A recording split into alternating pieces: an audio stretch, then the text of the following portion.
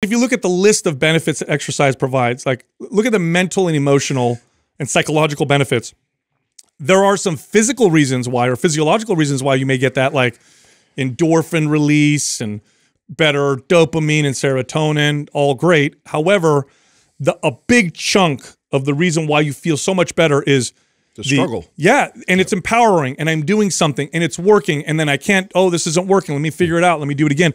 It's that growth process. You can overcome challenges. You are not going to be able to mimic that with a pill. It's just not going to happen. Bro, based off of that, it's a very scary thought that it, we could even potentially. All right, here's some good news and some bad news. Let's start with the good news first.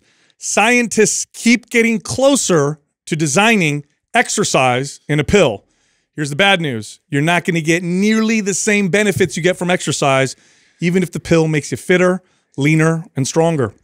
So I wanted to bring this up because uh, I just read an article that they keep getting closer to So a literal burpees. a drug that you take that can elicit the adaptation responses in the body that exercise does. Now they're only testing on animals, but it's pretty remarkable. However, I want people to I don't want people to get excited, too excited because when you look at the benefits, the list of the benefits of exercise, only a fraction of them will be accomplished with a pill, even if if it gives you all the physical benefits. I don't even think we're going to get there. Do you really believe Yeah, we're going to get that there? look like? I the, the, the complexity of that is insane. you're I I mean, think of the think of the most uh, incredible pharmaceutical drugs that are out there right now that that aid in building muscle or or burning calories and speeding or and or uh, simulating speeding the metabolism up. And even those are they're not magical. I mean, you think of the clenbuterols, the uh, anabolic steroids. Like you take those, you can take copious amounts of those, and it doesn't guarantee you get fit. You still have to put the work. Yeah, the in. only way you get strong is through the struggle. Yeah, So and- how do you get strong by eliminating all Well- the struggles? Well, and and and food. So food plays a, obviously a massive role with it. Plus the actual stimulus of the exercise, right? So how do you even? So I think they'll eventually be able to mimic the stimulus, but what they'll never be able to mimic with a pill because why? Because it it is a signaling process, and Mm. they will. Look, they are going to eventually. well, that's what they Figure it said out. the uh, sauna uh, emulates, right? It's Somewhat. like some very low form of exercise. But it's like, 'cause still your body. It's still, temperature but it still requires you go in and kind Yeah. of go through Yeah. it, and, all and it's stuff. all still really minimal. Just like I was talking about, minimal. like the the clenbuterols and anabolic steroids. Th- that that makes a big difference, right? Someone utilizing things like that with exercise and diet, but you it's still really small in comparison to the diet and exercise part. Yeah, no, it, it'll Yeah. get it'll get I think it'll get there. I think they're going to identify all Really? the the signaling processes that get the physical adaptations, the physiological physical adaptations. But what they won't do and here's the complexity Hmm. part that you're talking about, what they're not going to get cuz if you look at the list of benefits that exercise provides, like look at the mental and emotional and psychological benefits. There are some physical reasons why or physiological reasons why you may get that like endorphin release and better dopamine and serotonin, all great. However, the a big chunk of the reason why you feel so much better is The struggle. Yeah, and it's empowering, and I'm doing something, and it's working, and then I can't. Oh, this isn't working. Let me figure it out. Let me do it again. It's that growth process. You can overcome challenges. You are not going to be able to mimic that with a pill. It's just not going to happen. Bro, based off of that, it's a very scary thought that it, we could even potentially You're right, Yeah. because people are going to think. I mean, imagine what we're seeing right now with the rise of depression and suicide right now. Yeah. Imagine if everybody could just take that pill and have that and think that that was going to provide happiness for them. How mu- how much worse it, It- would well, be. to me it looks just like this like a, like a science fiction movie where you're in this like pod and you have like uh, electro stimulus to to keep your muscles basically uh, stimulate so that way like let's say we're just now logged into the metaverse and so now everything's in there and I took this pill and so like it's regulating you know body fat giving me stimulus when I need it for my muscles like you could literally just be So now that seems zombie that seems more realistic to me paired with your idea of a pill that act- if you actually were to hook into something that is like stimulating the muscles while you take like this pill yeah muscle stims You're still not going to get what, what I said. No, though. of no, course no, no, no, I no, know. of course. But I mean, I, I still couldn't wrap my brain around a, a pill you take in your mouth and all of a sudden you build muscle or you shred down body fat, like without some sort of like external stimulus. Yeah. Yeah, Where I- if Justin is, where Justin's point is like hooking into a pod that you get this like stimulus and then you're also getting the pill. That's I You're don't- passively receiving this kind of like, uh, and you wake up just jacked. Yeah, I don't. I don't be kinda cool. muscle. I don't growth. think the I don't think the calorie. I don't think you're going to take a pill and then your body's going to burn more calories. But I do think that the pill can stimulate the responses to do things like speed up the metabolism, uh, lower your appetite. Right. You know, here's a deal. Yeah, but- you can simulate good feelings, or you could get good feelings from drugs too. Yeah. You could take a drug and feel, oh my God, I feel so good. Is that the same thing as, let's say, a spiritual practice or being with your kids and experiencing joy that No, way? It's not. not. So you can mimic you can mimic the feelings of love with drugs. You could take a drug and make you feel the feelings of love. Is it the same thing? Well, yeah. So okay, you No. take a drug that get mimics you potentially building or but you don't actually build or burn. so I mean, uh, the the idea that you're we're gonna have something that you could take and then it will actually build muscle. I just can't. I don't see that. Not I- without some sort of external stimulus. yeah, I think they'll be able to do it that, but I don't think they'll never be able to get you to actually go through the process or to figure that way that part out with a pill because that's the only way that it works. You have to go through the process unless we like the matrix where I could plug my brain into something and then learn things and figure it out. it's going to go against uh you know our our makeup our, our genetic makeup our wiring our, our drive uh Yep. to to move and and uh you know to be this sort of like machine like i i think that there's there's gonna be a lot of advancements like it, i was looking into uh the exoskeletons and everything else like we're already like building these attachments to kind Yeah. of take replace limb strength so like who knows if we even like there's gonna be people that don't really care about like being strong or having like an able body because like we could just So- end up making it What? Yeah. Okay, so then are you? Do you lean more towards that we're going to go in that direction where people have all these like mechanical parts and you're half human, half robot, or that we're going to plug into a metaverse because they're two t- totally different? Yeah. Or do you think they're both i don't of? know it could be either I way. think it's probably a combination of the two. I'm what I think. convinced it's that it's the plug in because it solves the the fat loss body image stuff. If you go plugged into a virtual world and you can create this character who can basically go around and do all the things that you could do in real life, you know, I think that that's more likely to happen than us getting to the science to, of a pill that sol- actually because Yeah, you won't care about that anymore. It'll solve the uh, the looks aspect of it, but not the health part. You're still gonna be no, I'm not. I'm not talking about solving a problem. I'm talking about what we're more likely to go towards and what pe- Oh, humans are going to gravitate Yeah. towards. I think the the I think where we're moving with the metaverse is more likely to happen sooner and faster for people than the pill that you're alluding to right now. I think so. And and by the time you get into the metaverse and you no longer interact with people in real life anymore, who gives a fuck if you're hundred pounds overweight because your avatar looks the way you Yeah. want it? To? Well, they'll care just because their health will be bad. Well, here's what I think is No. gonna happen. What? I- what? yeah. What? Oh, you- They, they don't care. Who cares that their health is bad? Do you know that they check this? What do you mean, I, who I just read cares? this You're still gonna feel like shit. I just read this crazy statistic. This is fascinating to me. Okay, people that go in and have like, uh, like, like almost die from like a a heart attack or like any like something that they could and they it's induced because of you know poor diet, lack Right, of exercise, right, right. and the doctor says. There's there's no nothing that can solve this other than changing your your your habits Yeah. and behaviors. You know what percentage do? It's still very small. Yeah, Ninety percent don't change Yeah, anything. Yeah. that's crazy. That's and they the- know, bro. They almost died. That's the epiphany part that people wait for. They wait for an epiphany, Uh-huh. but epiphanies don't even happen when people literally almost die Yes. or kill rock, someone. rock bottom yeah There's drunk. There's uh, there's alcoholics who will crash into someone, kill them, come out of jail, whatever, and still become alcoholics. Um, so yeah, waiting for an epiphany is not going to work. And we talk about this on the show all the time. There's a process of developing behaviors and discipline. It's a learning process. Yeah. and it takes a while. And no pill is going to do that. And then as far as metaverse kind of stuff is is concerned. I think, you know, what's interesting when you look at the science on happiness, like real happiness, joy and, and contentment and purpose, struggle is a very important part of it and and and there are lots of pieces that don't make sense like why would challenge and struggle and hardship be a part of having to be happy mm-hmm. well you know figure that out right It humans forces are very it forces purpose. I think so It forces purpose. I think so. If there's struggle, it forces you to have to overcome, and that in itself gives you purpose. and that sucks Purpose to live. and yeah, people don't want that right. they But don't it- want that But it's better than being purposeless. oh i agree It's better than than floating around with no purpose whatsoever because everything is so easy and you don't need purpose. The fact that you have to overcome struggle forces us into. You know what's funny is that I mean, from an evolutionary standpoint, of course, you could go the spiritual standpoint, right? We're we're all meant to grow, and that's part of growth. And then there's the evolutionary standpoint, which is we evolved to uh, gain purpose from challenge and struggle because it was so a part of nature.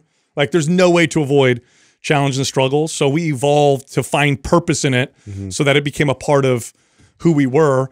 Um, so as we continue to modify our environments with technology and whatever, make things easier and easier and easier, that part of us is still there. I always think it's interesting. You just did something that I think is always really funny to me that people do is this need that we need to separate evolution and and spiritual. Like, why can't what you just say like be both? I agree. It's it's it's, but it really is to make uh, one half of the group feel good and the other half Yeah, the you're right. feel good. By, I agree. By it's like, what are the possibilities of both?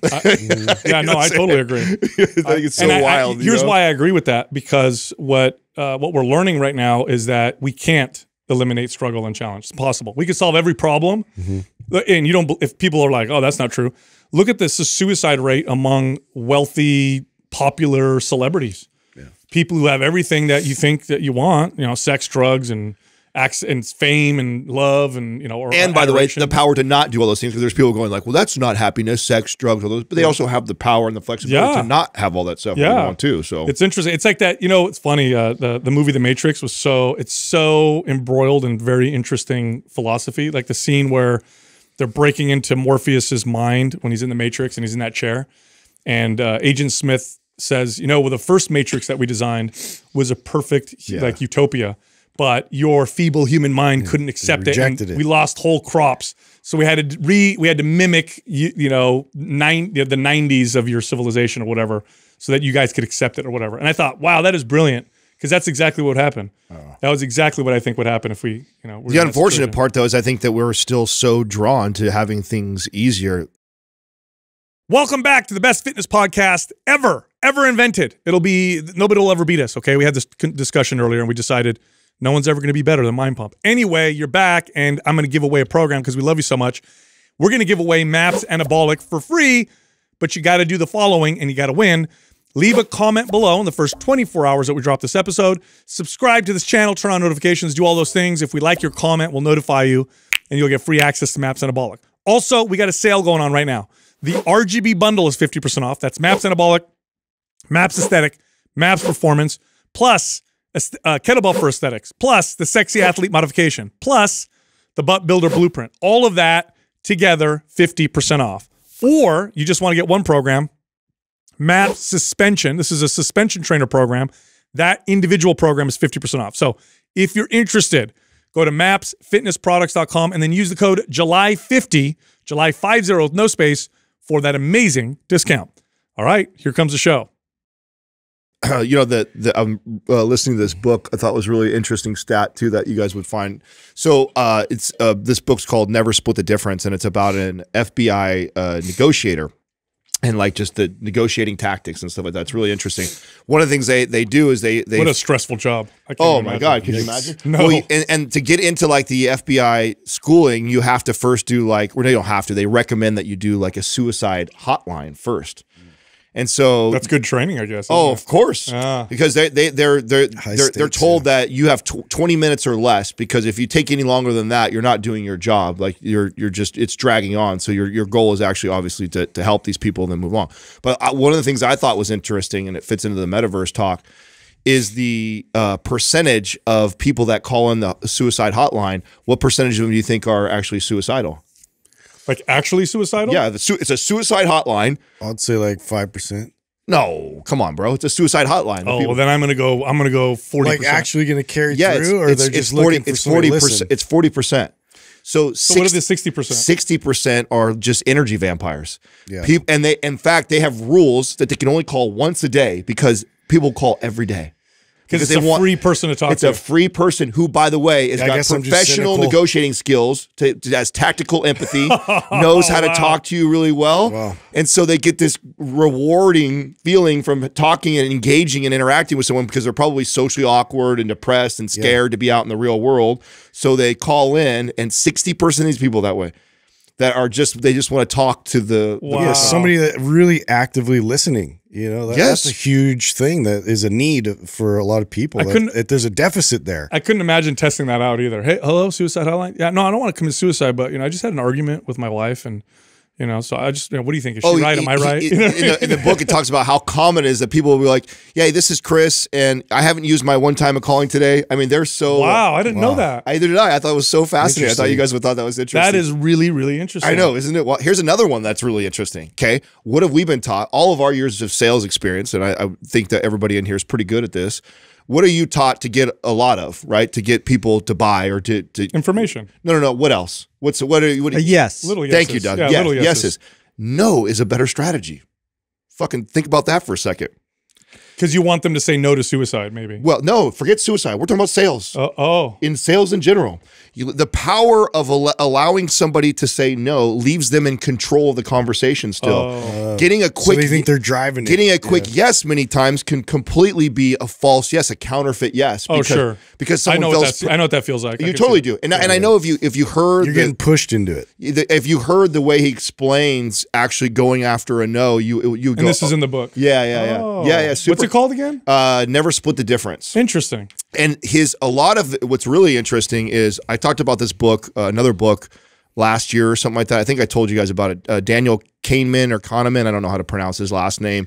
He's a Nobel Prize winning economist, behavioral psychologist who wrote Thinking Fast and Slow. He won his no- Nobel Prize off of the learning about how the I told you guys how the brain it has two has two different ways of thinking or like the the, The two fast hemispheres? yeah the Oh, oh, faster oh, I no see. fast or slow Oh, right, right, the right. way you and your animal instinct is your fast and then your slow is your more cognitive Mm-hmm, and, and and critical thinking a lot of the theories and everything that is this book is based off of come came from that research so it was and i found that out later of being inside Dude, you just reminded me of. So I've been reading a book. I'm only mm, maybe a third of the way th- or a fourth of the way through, but it's called uh, "The Body Keeps a Score." It's a heavy book. It's about trauma and PTSD and how it affects the brain and the body and how these memories are stored in the body. Why it's so hard to process. And but i in the beginning, it kind of goes through the history, which a, a lot of this came from. Uh, a lot of the study on this originated with soldiers returning from war. And you know, it wasn't until the 1970s that they even came up with the term PTSD. PTSD, yeah. So soldiers would come back from World War One, World War Two, and they weren't treating them at all properly. In fact, oftentimes they were kind of Right, because I mean, they only pushed had away. They only had one. It was like shell shock. Was that World War One? World War One, yeah, were were because they were in the trenches and they'd constantly get bombed, and so they'd get the ground would shake, and they didn't know when the next one was coming. Yeah, that they, they- would have tremors. They'd like, get tremors all yeah. the time. They call that shell shock. Really heavy but fascinating book. Like one thing that he talks about in there about with soldiers, which I've heard this before, but he tells a specific story, As he says, you know, um, you know, most people think that soldiers will suffer from PTSD from seeing like terrible things that happen around them, like their their buddies get shot or they almost die, they lose a limb. I totally And he goes, that's a part of it.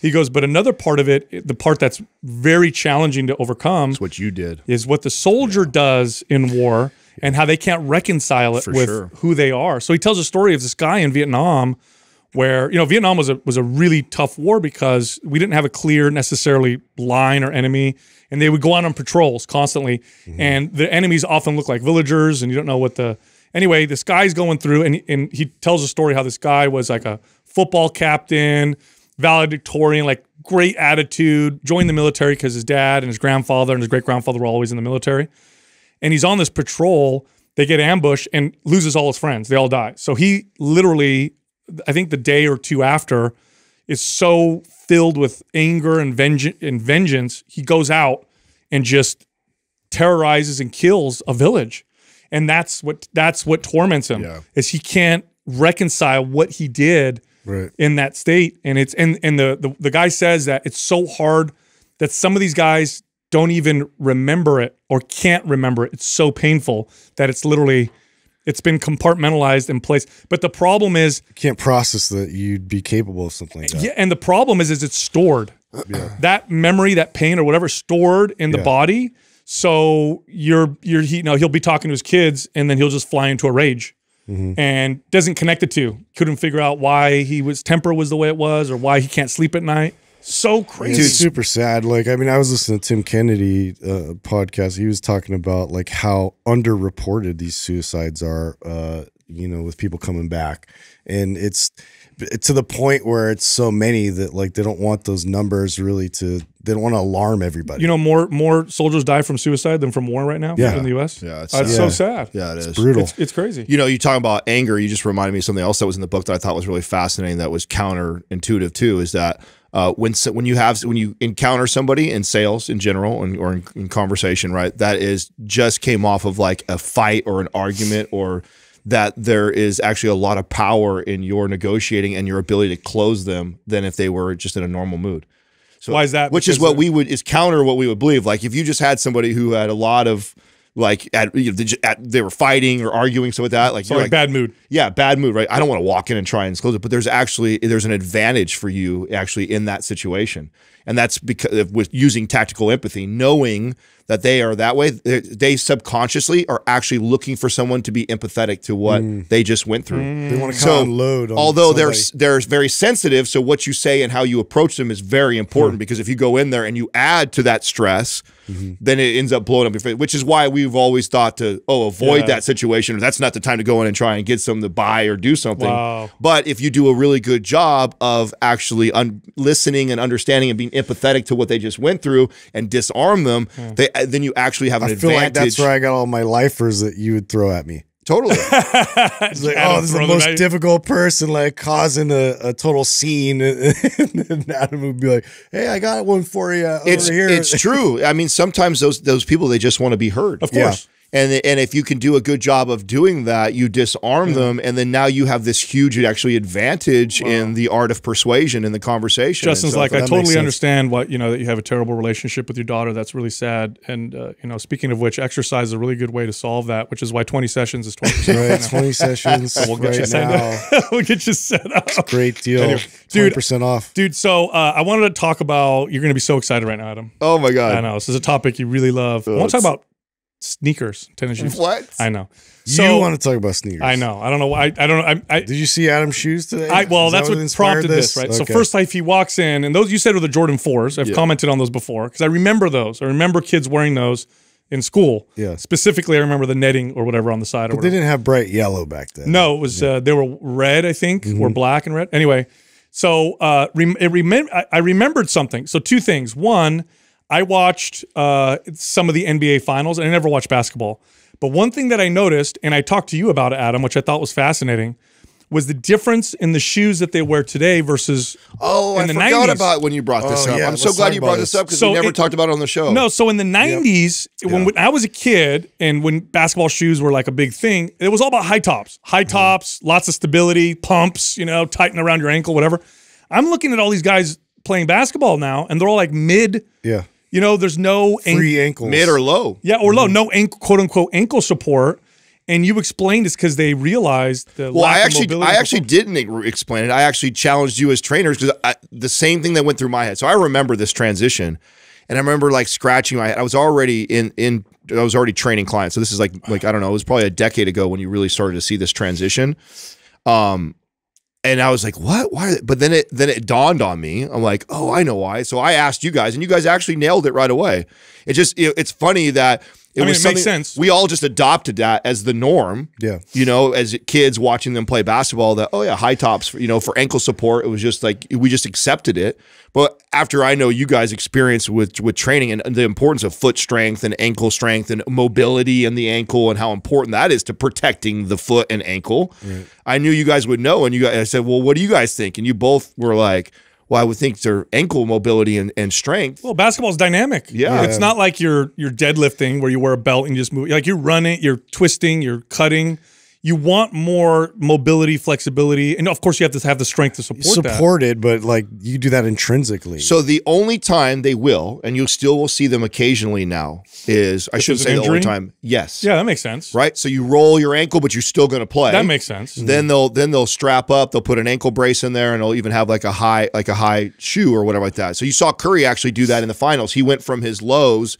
He rolled he rolled his ankle. I can't remember what game it was, and then after that he put his like I would like Well, to see this, the numbers on ankle injuries and knee injuries if they're more or less. I know it'd be Um, interesting. 'cause Oh, it's bro. It's the NBA. They they for sure have got the statistics on that, which is why it probably became like it overnight seemed like Yeah, it because they're always looking to profit, and an in- injured athlete it Yeah. loses you money. Yeah, you so, know? yeah. yeah, I'm because sure, most injuries I've seen and been a part, even my own injury, was like I didn't have that free range of motion to work with it. It stuck. Like my foot was stuck in a fixed position, and then the rest of my body was still traveling Totally. with that momentum, and then boom, it's totally. Puts I you know what I'm shearing more, stress. more curious about is who is responsible for influencing the NBA like that. There had to have been a s- very smart coach or trainer. Like who are the first ones? Yeah, Yeah. somebody. Because this is what happened. We we, talk, an we talked about athletic this on trainer, air yeah. before. Is like we assume that because it's the NBA, the NFL, that they have to have the best trainers and coaches. But for the the longest time, they didn't. They're getting there. Yeah. it's definitely getting. It's way different today than it was 20 years ago.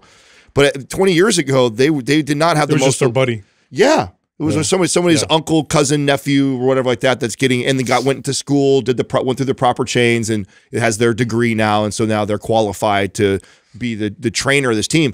But they, the stuff that they were implementing back then was still archaic. well, well, it's interesting is you can see somebody like a PJF or PFJ. What's his Yeah. PJ? Paul Fabritz. Paul Fabritz. Yeah. Uh, he will make more money just doing independently and not like he could easily be. He's uh, turned part down. a- yeah, he's turned it He's down. a had the bunch opportunity to work with NBA teams, and it's just, don't he- pay. He'll just makes- work with them individually, like players. But Yes. Well, for decades, didn't basketball players wear these chucks, low Originally, rise? yeah, I mean, there's nothing. This is like about as minimal as Yeah. it get.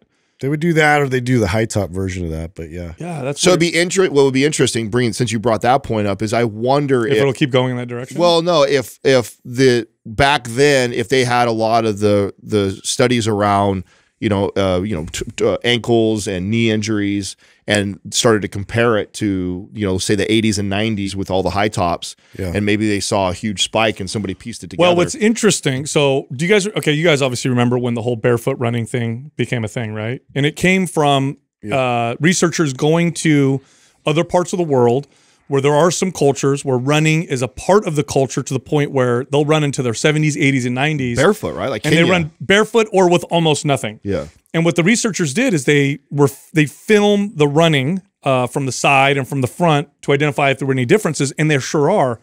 When you run barefoot naturally, not now. Like if you're used to running in shoes now, go try. You try to run barefoot, you're gonna hurt yourself because you're used to not doing it that way. But when you do it your whole life, you strike with your forefoot just before your heel, Mm-hmm. and because your ankle and your foot acts like a shock absorber, and it's actually the best shock absorber you can use. Yeah. today what we do or for a long time is we put tons of padding and stuff on the shoe on the heel to try and make it softer and we actually teach ourselves to hit heel 1st which eliminates the shock absorbing ability and intricacies of the the foot and the muscles of the foot and the ankle. So these researchers are like this is how we're supposed to run. Now what people did is they said oh let me take my shoes off and go run a bunch of miles and they hurt themselves because you've been running for years without you know with shoes on it's going to take you a long time to learn the other way so it is really interesting. Well, I wonder if it's going to go in that direction. It's weird because it's sort of like I mean, you've seen how conditioned athletes have gotten over there just because of the shoes that they like grew up with and, and how they have the elevated heel support already and they, Yeah. they've always been used to that. And so it's like, you know, they don't even know how to like strike with their forefoot or like be on their forefoot. I had like have to teach this to death to a lot of these uh, athletes on how to like be more active and mobile and be ready, be in a ready position. Uh, because you know, being on your heels, you're you're dead. You're dead in the water on the field. flattened. Yeah, you're gonna get pushed over. So you know, having to deliberately like teach that to me is like mind blowing. yeah, you know, it's you just you know what else I thought of. So in the '90s, there was this trend of like shoe technology. I put in quotations. It was all about selling the shoe based off of the newest air or gas or whatever in there to make you jump higher. And then I remembered, and I had it wrong when I told you guys. It was Karl Malone's LA Gear Catapult. That was the shoe. Do you wow, remember? you remember that? Do you remember catapults? You were I so close. You shoe, did a Patrick dude. Ewing. You did a Patrick Ewing reference and said, "Wow, no, was Karl Yeah, Malone. you're like BK Knights. It was LA Gear Catapult and the commercial. I remember this as a kid because it closed me as a kid. I LA watched the Gear commercial. was the worst. It shows like the foot hitting the ground and there's a catapult in there that It had like you like, forward. like Do you know that has to be one of the biggest flops on one of the biggest names in in Yes. sports Yes. for a shoe? it Like, was. Was it? Yes, it was. I I, I, I know it. but I bet you it the awful, I bet you now if you have a pair now that are like Yeah. in good condition, dude be worth a shit novelty. Oh man, yeah. There's got to be somebody out there that wants those. I I bet you. Oh, that's I a funny. That's Isn't a- that interesting? That is really. You know, I know this is like total anecdotal because it's my son and I only have one. But I swear to God, the the time that I put him keeping him barefoot for so long, I, he didn't go through that that typical toddler falling over phase that Yeah. like every kid goes through. And I swear I attribute it to his his foot strength and stability of keeping him barefoot. we like- so we keep Aurelius try to keep him barefoot uh, as as long as often as appropriately possible. Meaning, obviously, if we're outside and it looks like oh, the ground might be a little whatever, we'll put shoes on. But usually we keep him barefoot. He's way better balance barefoot. Way because he's mostly barefoot. You put his shoes on him, and you can see you can see he's trying to feel the ground. Yeah, and- I know that. So he Max is the only time Max has scuffed his knees has been when he's wearing shoes and he's going to run, and you can see that he still hasn't adapted to the shoes. Yeah. And I was explaining that to family, and they're like, "Well, see, now what, he's going to fall the rest of his life or something?" I said, "No, he's not. yeah. eventually he will get really good at walking in shoes, but I care more that he has foot strength you and ankle mobility here. and and that ability to control he can himself." articulate his toes. Yes, and he can balance. and he, on you'll see him like he'll Yeah. he's it's wild, bro. He'll be sitting down, and he always is comfortable in that deep squatted position. That's how he plays and reads and sits, and he you can see he'll naturally does this with his toes while he's doing That's something. so great. cool. I know. So I mean, I, of course, I have one kid, and so I know it's not. No, no, that's legit. I got an argument with my old with some older relatives because they told me, "Aren't you going to get supportive shoes for Aurelius?" Like, because because their idea was back in the day,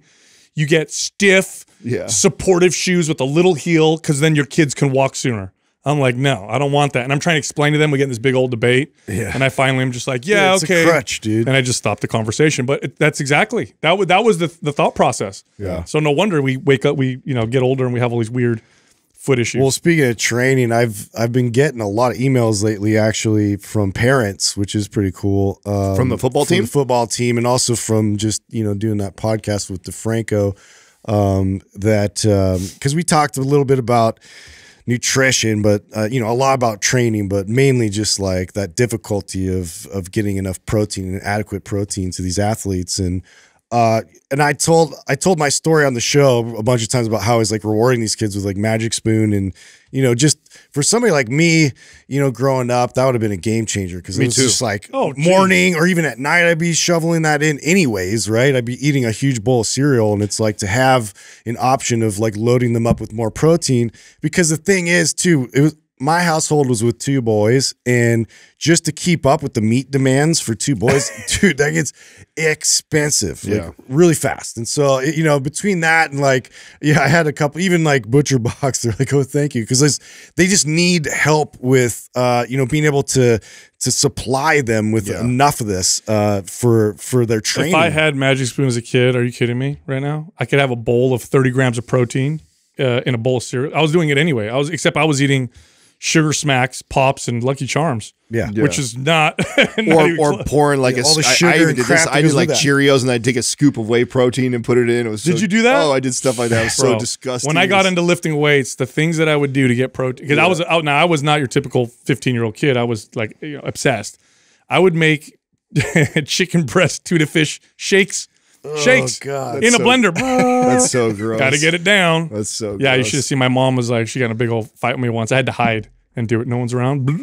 Drink it real quick. Did you make one of those? No, mom, I didn't do that. I mean, we talk about like it, obviously it's a processed food, right? And we always talk about like the the idea of getting whole foods, and so sometimes I think people get the wrong message when we talk about. No, you got to work with what you got to work with. Yeah, exactly. I mean, if you're an adult and you're responsible, you're making all your meals and stuff like that, like 100%, I'm going to push my clients always to whole natural foods. You have to consider always. First of all, don't With make teenagers, come on, this don't is a different story. I said this last time. I was like, well, don't. What is it? Don't make good the enemy of perfect, right? So uh, you do Don't make this all the time. perfect, perfect the enemy of perfect good. the enemy of good. Okay, I said it backwards again.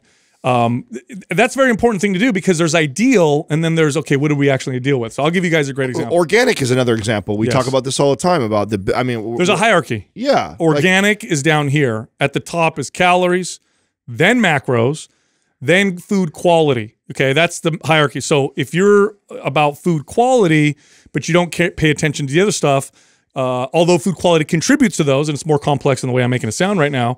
But if you eat too much, even if the food quality is great, which can happen, it doesn't matter. Your, your health will still Well, yeah, it's like it's like uh, you know, eating all organic and grass-fed meat, and but yet uh, drinking a liter of Pepsi every single day. yeah. It's and being over calories by Or you drinking a liter of organic Pepsi. know- yeah, yeah, yeah. Okay. That's the, other- the organic candy always cracks me up. That's, Oh, the, That's, that's I, I eat that.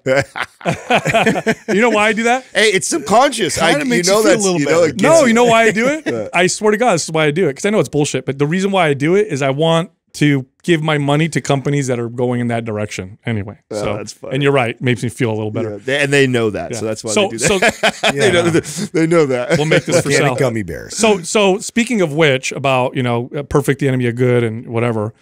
Uh, government's great at this. Government's great at passing laws that feel good and never considering the potential unintended consequences. So here's one of the dumbest things that is coming out now. So they are pushing a policy right now, and I would love you guys' feedback, what you think could potentially happen from this. They are pushing a policy right now to mandate that cigarettes have low amounts of nicotine. So they're gonna they're gonna give them a cap and make it very low. That cigarettes will now have way less nicotine because of course nicotine is the pleasurable part of cigarettes. It's also the part that that you know we know what'll make it addictive. And so they're like, hey, here's the deal. We're gonna help people not smoke because it's bad for you. We're gonna pass a law. All cigarettes need to be low nicotine. Any any thoughts so on of course I got on what's gonna happen? on yeah we're gonna now we're gonna have a a, a bigger black market black just like we just like we do in again. cannabis it's a reason why the cannabis laws and rules are stupid and the whole idea that we have all these cannabis clubs is oh we're moving in this direction yeah but then we tax the shit out of it we put the prices through the roof and so it still drives a black market because people are gonna Yeah. It feels same good to concept. do that, but what's going to happen as a result of that? That's not what you to, always not, have to think. not to mention you're not addressing the issue. The, the the issue is not like the amount of nicotine in cigarettes that's the problem. That's not the root cause of what causes these people to keep it's the they've got something else that they're escaping from or they want and yeah, you they'll find another product. you manipulating that is not going to and and here's the shitty part let me talk about politics what will happen is they'll show the decrease in, in purchases because now people aren't going the legal route but then they're doing it on the black market which they can't track and so they're going to probably make Well, the case for it's working let me let me Yeah, let me rephrase this because there's another thing that I think you guys uh, that that's going to be more obvious. Okay, imagine, and by the way, I do want to say this: nicotine is not harmful. Yes, it's addictive like caffeine is, but it's actually not harmful. It's all the other shit in cigarettes, uh, all the smoke and the Is other that stuff. naturally uh, produced when you condense down uh, tobacco leaves? yeah, tobacco. Yeah, contains like it contains it. Yeah, so let me let me rephrase this and let me see what you guys because you guys like coffee, coffee a lot. You love coffee. Fuck yeah. Okay. Now, let's say the typical cup of coffee has got 100 milligrams of caffeine. I'll just use an, an arbitrary number. And the government says, hey, here's what we're going to do. We're going to mandate that a cup of coffee can have no more than 20 milligrams of mm. caffeine. I just drink double now there you No, go. five cups. You'll Yeah, have yeah. five cups. Yeah, yeah. what do you think people are going to do with cigarettes now? buy more cigarettes They're gonna smoke way more hey, cigarettes. how gangster would this be if Philip Morris is like behind the scenes of lobbying for this to happen that would be the biggest. oh, biggest so they can sell more cigarettes? yes I wouldn't be surprised. how gangster would that be if it was Philip I Morris's would not i- be surprised. idea for the Didn't they government to show push that something they like that? funded um, the uh, the campaigns for the anti Yes. Oh yeah. Oh yeah. Because you, they because it incre- Have you ever seen that movie? That- That's good. Good show. Thank you for Thank smoking. you for smoking. Oh. yeah. Yeah, yeah, they talk about Yeah. that. The, and and I would not be surprised if it was a lobby lobbyist from that represents the Philip Morris that got the government to go in that direction to make everybody think that we're actually trying to help people when in reality we know it's only going to double our cigarette Well, sales. what's going to happen is I, I know Mastermind manipulation. Yeah, I know this for a fact. People are going to smoke more cigarettes. Oh, this one only gave me so much. I only felt this much. Let me smoke another two.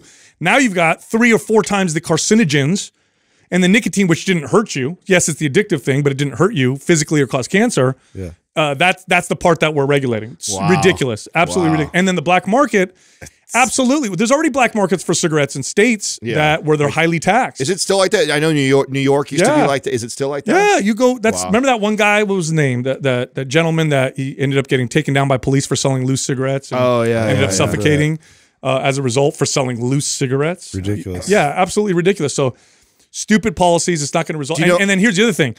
Because it's a nicotine regulation, here's why I think what you said might be absolutely correct with Philip Morris. Because it's a nicotine regulation, you know who's going to get hit hard from this?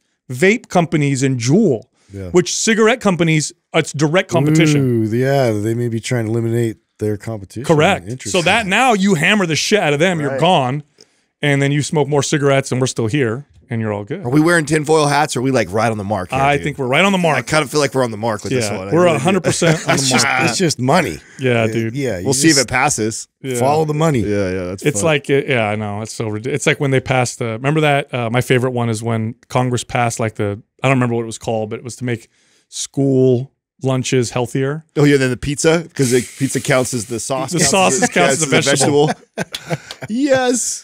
They're like it has to have a vegetable, and then the, the freaking the, the you know the pizza you know lobby or whoever Yeah. lobbies like, well tomato sauce you know And people wonder why we're skeptical. Yeah, I know. they wonder. I know. yeah we got our pizza it's got Yeah. some vegetables in it Yeah. I know it's ridiculous How are gas prices over at your place right now? Are you are you uh, seeing an increase still? I think it's. It, I like, peaked at for seven seven thirty. Yeah, it's like seven. I did you see that the the prophecy fulfilled itself? Seven Eleven. is now selling gas for 7-Eleven Oh my god, Seven dollars that's eleven so cents. Funny. I did not see that meme. Yeah. That's hilarious. I mean, it's pretty much up there uh, for premium. You know, you're, you're getting at like 7 11, 7 12. was it Andrew that was telling us crazy. the uh, the the clip from um, what's the Will Smith one where the everything they like the apocalypse happens and everything like that? What's Oh, uh, uh, oh, yeah. I am legend. I yeah, Am I am. Legend. Was it Andrew that was telling us that the, the gas prices in there? are the ones that we have now No, or lower. Oh. what- so even when the, the apocalypse happened, they thought they Zombie predict- We just bypassed the apocalypse. Yeah, That's what we did.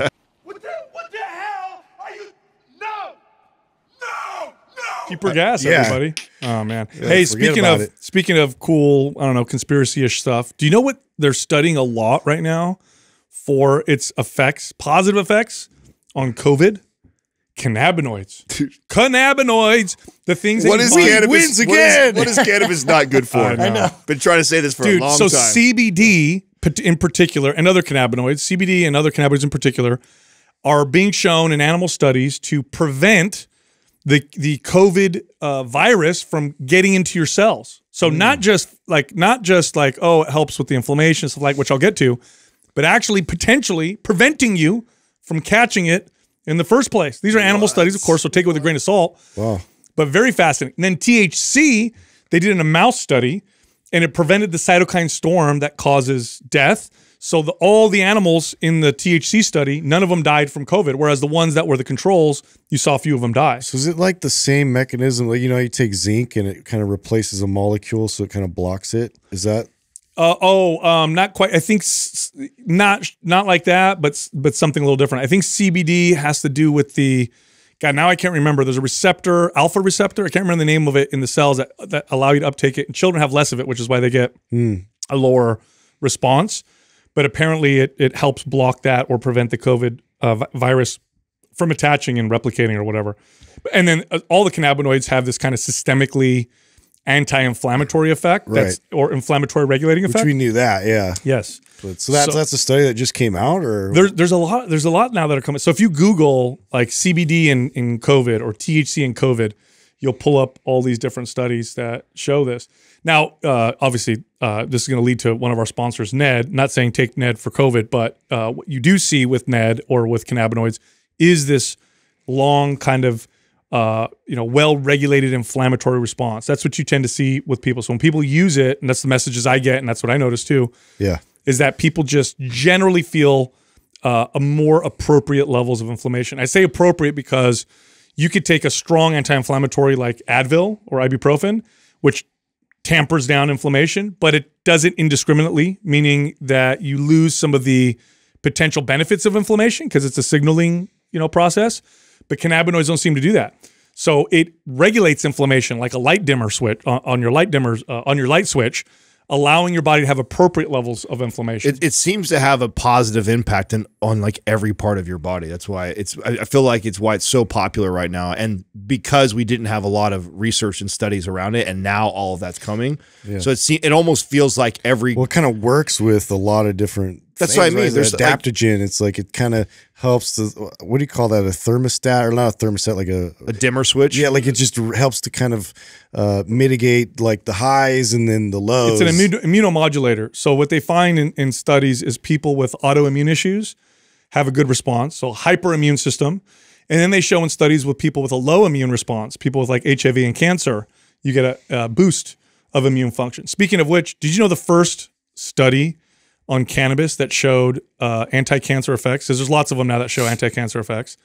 But the first one that was that showed that potentially showed that was a government-funded study, and I think it It was in the seventies, right? 1974. I want Yeah. to say, and and the government funded a study to show Do they keep it classified? well, here's what they did. This is true. It's not a conspiracy. They wanted to show that, oh, for sure, marijuana causes lung cancer. Oh, I remember. As the study was progressing, there was a per- slight protective effect. They shut it down classified it. Nobody can find out about this. Done. yeah. Whoops. This doesn't help our uh, initiative, you know. Isn't that a good time? Yeah. Anyway, hey, so I was uh, online on YouTube again because you guys know I'm I'm home alone right now, so I have all this time to watch weird shit. I know. Uh, I watched. Uh, you guys ever watch Brock Lesnar in college when he wrestled? He was a beast. You want to talk about? He was like just as big. Uh, he was like if this was ten thousand years ago, he would be the guy on the horse, Yeah. That With you, the- you said him, with the horn helmet, just Bro, killing he- people. His forehead would knock people out. Dude. Just, you know. He was a in college a monster. Yeah. I watched his championship match. We'll put it in the in the show notes or we'll put it up here.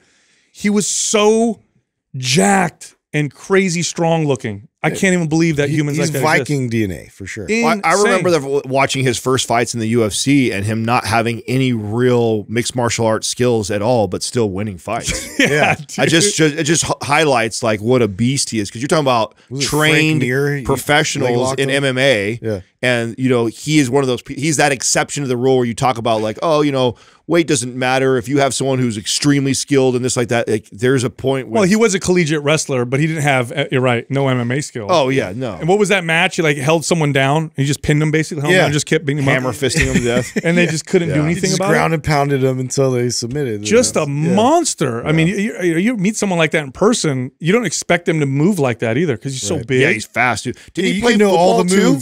Moves. I don't know. Did I he thought play he played college football or almost made it Um, pro too. I thought. Yeah, I don't know about football. I definitely know he was like national champion wrestler at uh, Minnesota. So, what, how old are you when you're? He's got to. He had to be like 21, like 21 years old, right? When 22 when, When he was in college and he Oh, and he oh, oh. wrestled Oh, oh, yeah. in his tw- in early 20s at the Yeah, at the yeah. latest. Yeah, yeah. You imagine meeting a 21 year old that looked like that? Yeah. You'd be like, okay. Wonder what his parents look like. I don't know. I know, right? Yeah, but it's always some anomaly where there's like the parents are like five three and like 185, and, they, and they had that. You know what I'm saying? Like, what the fuck? They were, they were you pulling up to see if he played football, of you? Doug?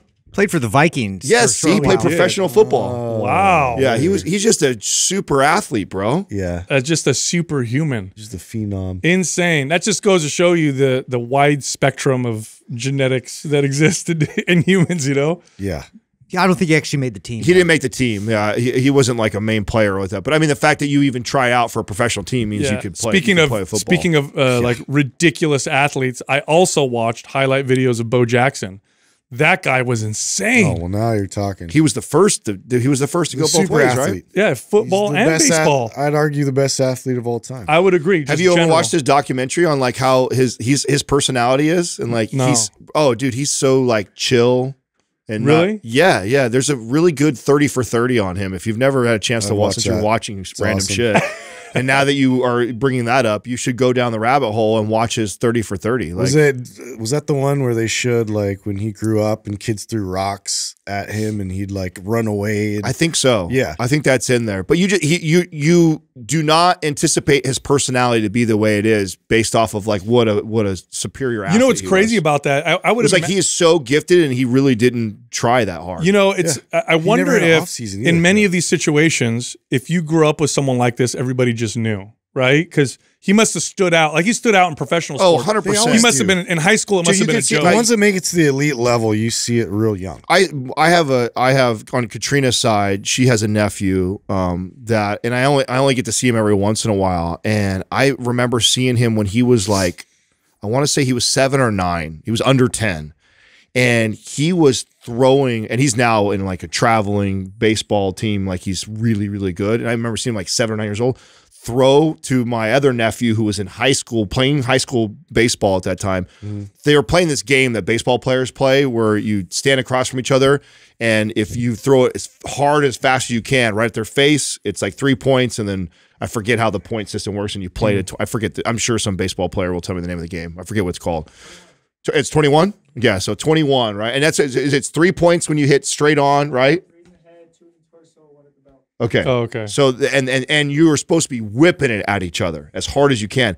And this little kid is like, I mean, he was whooping my my other nep, the older one's ass at just how pinpoint accurate and fast and hard. And you could just see it. He's throwing and moving like a like a collegiate level adult at nine years old, dude. Oh, yeah. Insane. You just know. And then of course I've watched him over the last ten years progress in the game, but you can see it like at Bro, an there's this kid named Danny Mix uh, when we were in like Little League who's left-handed pitcher. I thought for sure he's going to be the next Randy Johnson. Like he was probably throwing like 70 miles an hour.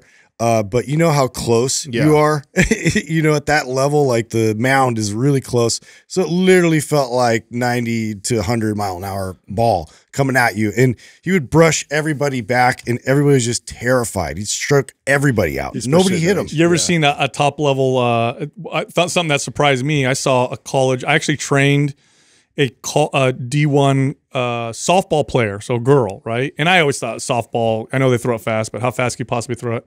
Dude, I saw her pitch that thing. I'm like, that's a big ass ball going real fast. Oh, that was pretty remarkable. Well, they've they've compared like because the, the like Justin's talking about the mound length is a difference makes a huge difference. There's more time to when you're in professional. So when you see 103 miles an hour and you compare it to like a little league doing 77 Yeah. or a softball at let's say 60 or something like that, like they're comparable. I don't know what the exact calculations are, but it's not fair to compare a Yeah. 60 mile an hour softball. Same as a softball pitch. Yeah, That's what I'm they- yeah, okay, that's what yeah, yeah, yeah, You can't compare the two. Now It's they not- say that pitching softball, uh, that the way that they do it underhand is much easier on the body, and it's supposed to be It's supposed to be biomechanically. better for the shoulder. Is that what they say? Yeah, I mean that's what they purport, but I, yeah, I don't know. I don't know. I've, I I don't know what the long term effects of. I would uh, imagine the bicep and the bicep tendon would looks be like a lot of force. I mean, they definitely generate a ton of force by doing Yeah. that. You know, you could see talent like this in other areas too. So my uh, my brother-in-law, he has a little girl. She's the most charismatic little kid I've ever I, have ever met. She's a little kid, and she makes videos on his phone. Yeah, yeah. And I'm like, if don't let her get on YouTube because she'll get famous right away. you can see it early. She's young. She's a little like I don't know how old is she. She's got to be uh, six maybe. And she's like, "Hey, welcome to my channel. All right, today here's what we're making." And I'm looking at this. I'm like, "Dude, your daughter's super charismatic, bro. You better keep your keep your eyes on her. You know, Yeah. crazy." Foster it. All right, check this out. High quality ingredients, convenience, great tasting, superfood blends that make it easy for you to get nutrients, uh, organic powders like protein powders that are plant based, uh, powders like gold juice, which helps you relax at night, green juice for health, red juice for energy. What am I talking about? Organifi, one of the best companies we've ever worked with. This is an organic supplement company that makes products for health, wellness, and athletic performance. You got to go check them out, and you can get 20% off if you go through our link. Head over to Organifi.com forward slash mind pump. Use the code mind pump and get 20% off. All right, here comes the rest of the show. Our first caller is Philip from Tennessee. Philip, what's happening, man? How can we help you? Hey, what's going on, man? So, uh, a little bit of background. I'm 36, six foot tall, weigh about 185. Uh, pretty muscular, other than the, the lower belly fat and love handles. Hard to get rid of that stuff. That's what I'm trying to do, get rid of that. Uh, my main goal is to build muscle, burn fat, be as lean as possible. I'm eating super clean. Uh, I follow your guy's friend, Max Lugavere. I follow all of his nutrition advice. I read Genius Foods a couple months ago. It changed my life. Then I started listening to his podcast. I came across a couple of episodes with Sal as the guest and got turned on to Mind Pump. Uh, after listening to y'all and hearing about full body workouts, I started doing that. So now I train weight with weights three days a week, doing total body workouts. I do jujitsu three days a week. My day off, I stay active. I walk for about a half an hour. Um, every day I do 20 push-ups every two hours. That's seven days a week. So what I've been doing uh, as far as nutrition wise, I've been intermittent fasting.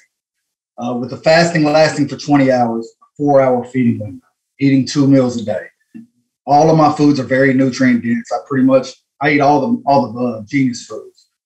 Uh, my question is: Does my body absorb and use all of the nutrients the same way in those four hours, eating only twice as it would if I were to eat three to four meals a day over, say, you know, an eight eight to ten hour window, as opposed to what I'm It doing. does, but that's not what I'm concerned about. Yeah, generally it does, but um, more frequent protein feedings may have some benefit. But I know where Adam's going. I think you're you're doing way too much. Yeah.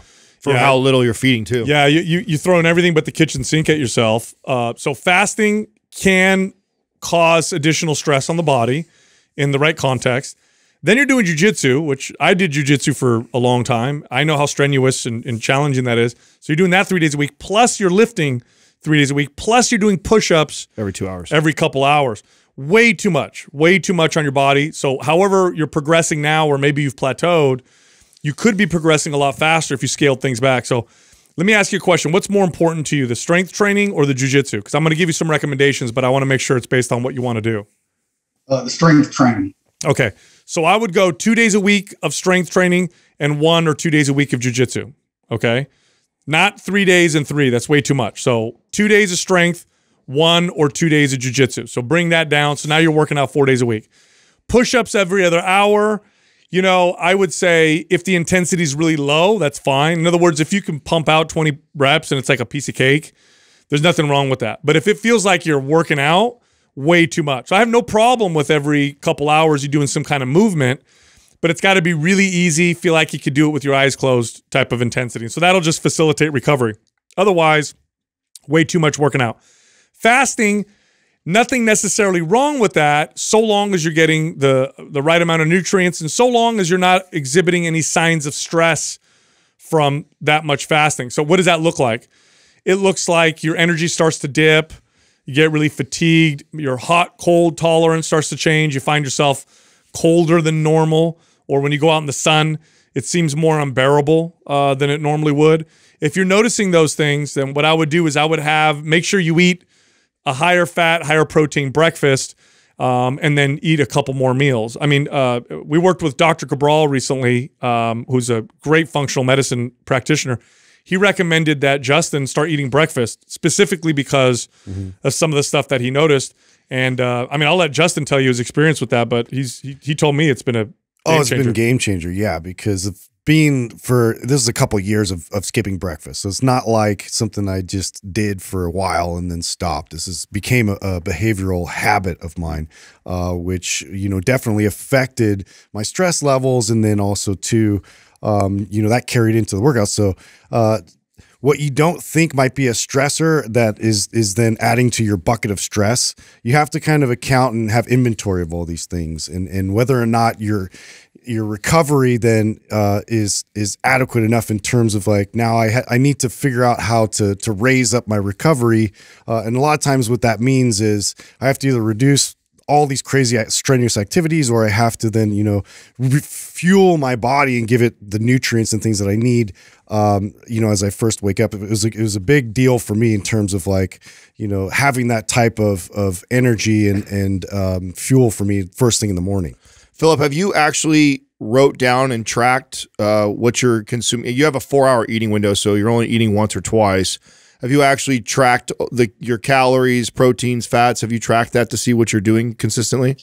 Yes, sir. Yes, sir. Uh, yeah, I, down to the macros every single day. Pretty much eat the same thing every single day. So um, about sixteen hundred. Not not much either. Uh, sixteen hundred and fifty calories. Yeah. I'm trying to cut down. Yeah, Uh, I want to I want to build muscle, but like I said, burn fat too. There's a jujitsu competition in November. Uh, I'm sure uh, y'all might know. I don't know. You know, I'm trying to get down to 175 and be around being that that So you- weight class. so you're you're definitely making it harder for yourself. I promise you that. You could actually do a lot less uh, work and stress on your body and get there a lot a lot easier than what you're doing right now. So if you're only eating 1600 calories, I'm assuming you're probably under eating 180 grams of protein every day too. Uh, I, 165. Okay, so that's not bad. So if you're at least hitting the protein there, but that low of calories, that much work you're doing, it, Yeah, six foot tall, 185, 1600 calories with all that work. Your your body is in, it, you're really teaching your body to, to store. Your your body's trying to be as efficient as possible because you're mm-hmm. not feeding it much for a guy your size, plus all that activity. So I would do what I said with the workout. By the way, if you have a competition in jujitsu, you can flip what I said. You could do three days a week of jujitsu, one day a week of strength training. Uh, if you want to really do well in the jujitsu competition, that'll serve you better. Uh, but I would increase your your food intake, and I would do it by eating breakfast. You know, throw a 300 calorie breakfast uh, in the morning, a fat and protein breakfast. It will kind of keep your blood sugar stabilized, give you some more, you know, a little bit more calories, and go from there. But right now, you got nowhere to go. You want to get leaner. What are you going to do? Cut your calories more, work out even more? You're screwed, right? So we got to back you out of that a little bit and get things speeding up. And I'm telling you, 1,600 calories for a guy your size with that much activity. Oh hell, that's way That's low. really low, right? You should be. I mean, if you were, if everything was working the way that I would want it, a guy your size doing six days a week of exercise, three days a week, 26, 2,800 Yeah, you'd be close to three thousand calories, right? So, so, so consider that. So, start scaling it back. Bump up your calories. Eat a breakfast. H- A high fat, high protein breakfast will set your set you up. You'll feel good. You'll have good energy. Um, and then the workout, you could either do, like I said, two days a week of strength training and one or two days a week of jujitsu. Or if you want to win this competition, I'd flip it, go three days jujitsu, one day of strength training, and do a full body workout. How long do we have till the competition? So the competition's in November, and it's more of a. I mean, I'm into it, but it's more of a fun thing with my brothers. I'm taking it seriously, but I'm more serious about getting my body right. Well, that- weight Okay. So that's good news because that's plenty of time to reverse you out. Since I, I didn't know if it was like four weeks away or something, because I was like, oh shit, four weeks know. away, you got to get down to 175. I don't know. What we're No, telling you, November, we're good. Yeah, no, we got plenty of time. So what you should do right now is don't don't be hung up so much on the scale. Start to increase the calories, like Sal was saying. Scale back the amount of volume that you're training, and and let your body recover a little bit. Let your metabolism recover a little bit, and and build that up. I'd really like you to be in a place of eventually, not right away, but north of 2400 calories before I start to cut you for the the jiu-jitsu thing. And by the way, that would be the goal. The goal that you and I would have is okay, let's try and gain as little on the scale as possible. So I want you to hover around 185, 190. I don't want you to go much higher than that. Let's slowly try and increase calories week over week uh, in, in increments of about 200 calories or so. Focus on getting strong and just kind of keep the and get those calories to where hopefully coming into end of October, I've got you at about 2400 plus calories and then I can restrict calories for the final couple weeks heading into your jiu-jitsu tournament and you'll lean right out. Yeah, but and, and you know we'll notice right away, Philip, by doing this, is you're just going to see yourself get stronger in the gym. That's the first thing you're going to. If you do this within a within a week or two, you'll notice your the mm-hmm. weights go up. You'll start to feel a lot stronger. That's a good sign. So pay attention to that. Okay. Now let me ask you. So my schedule Monday through Friday, I I work out at 4 a.m. I got to be up at three. Should I so eat breakfast in that in that hour before I work out? No, afterwards, Yeah, right after. You're ju- Afterwards, okay. Yeah, By the yeah, way, yeah. you're just adding more to this stress bucket. By the, the ti- more the more story you tell here, do you also work like fucking 16 hour days too? Is that next? Or What what, what time do you have do you have nine I go to kids? sleep at like eight o'clock. At Do you night. have do you have nine kids too? What else you got going on, bro? We need to. you got a lot on your plate, dude. You got a lot. I know it, man. It's a lot. It's a lot. what do you? No, you said you got. You said you go to bed at eight o'clock every night. Yeah, I crashed, man. I'm, I'm laying down about seven forty-five. I'll read. Okay. That's good. so. Okay, okay, that's good. No, no, no. That's Yeah, good. That's yeah. good. You're doing that right. Yeah, uh, all right, man. Well, good. Well, well, yeah. Do what we said. I think you'll be totally fine. Your body's gonna respond really, really well. You know, why don't we throw you in the forum, Phil? Are you in our private forum yet? So that, is that that's social media, right? Yeah. Are you not on social media? I'm not on any social media, man. Oh, I- I I like this guy. you know. Hey, it's, Yeah, it's the, it's the the healthiest move. thing you're doing right now. Yeah. good for you, man. Well, at least at least there's that. Avoid the drama. That's good. That's Good well, for you. Well, make sure you check back in with us while while you're doing that. What do we have? You, oh, he's on al- anabolic right now. Are you following Maps Anabolic? What's your program? No, so that's what I was. That's what I was. I, was, I haven't got a maps program yet. Um, I've been listening to you guys for probably a month and a half, and I just went. I, I've been going off what you what y'all been saying. I haven't. I'm not following the program. All right, I'm gonna I'm gonna send you Maps Anabolic. Yeah, send you That- maps. That's your program.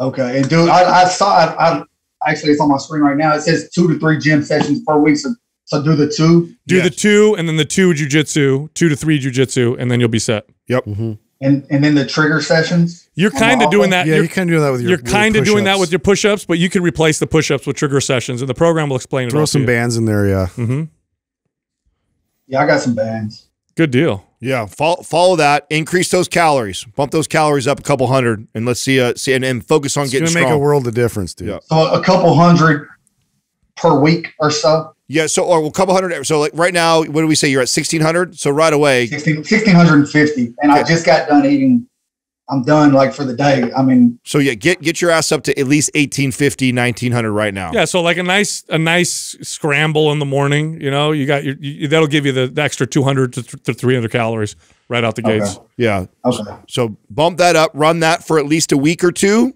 you know, see how you feel. So long as we don't see a, a major jump on the scale, the next week throw in another another 200 after that. So follow that for at least a week or two. Really pay attention to how you feel energy wise, strength. Make sure you're not seeing like a dramatic swing on the scale. So long as you don't see yourself shoot up beyond five pounds on the scale, I'd increase you again another 200 calories on top of that. So within a, within a, within a month, we're up to like 2,200 or so calories. Hopefully, Okay. cool. Sounds good. I appreciate you guys for real, man. Right on. Listen man. daily. Ah, thank you. Awesome. Appreciate it. Thank Appreciate you. the support, Philip. Thanks, guys. It's as he was going. I'm, I was like, you know, I, I'm I, I wake up at this time. Yeah. I do push-ups every Put other hour. tally I do this. up. I'm like, oh my gosh, there's all kinds of stuff that's you know you're adding up. You know, this really what this really points to is the will that some people have, Yeah. and, and it's and they will ignore the signs that they're overdoing it because they're so determined. And you could tell by the way he's talking, like he is doing everything Mm-hmm. that he has learned so far because he's excited about it, and you know he, he's seen some weight loss, right? Uh, but man, you, you He's doing a lot of work, but it's not necessarily benefiting him. no, you got to be effective. You want to be effective. You don't want to just spin your tires in the in the in the dirt because you're not going anywhere. And then eventually, you set yourself up for a really really tough time to maintain, and, and, and oftentimes people fail because of that. Well, the truth is, and, and I think it's the message that we're always trying to convey on the show is that it doesn't have to be this hard. It doesn't. I mean, it's it's more about having the right balance, and and I think he is doing a lot of. Th- he's trying a lot, right? He's doing everything Max is telling him. He's uh, doing the fasting like crazy. He's training. He's training consistently. He's doing jujitsu. He's doing he's doing uh, trigger sessions throughout the day. I mean, he's got a lot he's doing right now. He doesn't need to do all that, you know, especially being that underfed. If he was fed it would be different. If he said he was eating 2,800 cal- 2,800 calories and he was doing all those things, still overtraining, still more than what he needs to do. Not as big of an emergency, but not as yeah. big of a deal. Yeah, exactly. We still have lots of room we can play with, but that low of calories for his size, his activity level, he's got to come the other way. Our next caller is Dom from Texas. Dom, what's happening? How can we help you? How's it going, guys? Very good. Yeah. Good, good. So yeah, I just wanted to, you know, first off, of course, say, you know, thank you for having me on. I've followed you guys pretty extensively for the last year and a half or so, and uh, just want to say, I know Adam, you'll appreciate this, but go Warriors! How about those guys? Oh, yeah, buddy.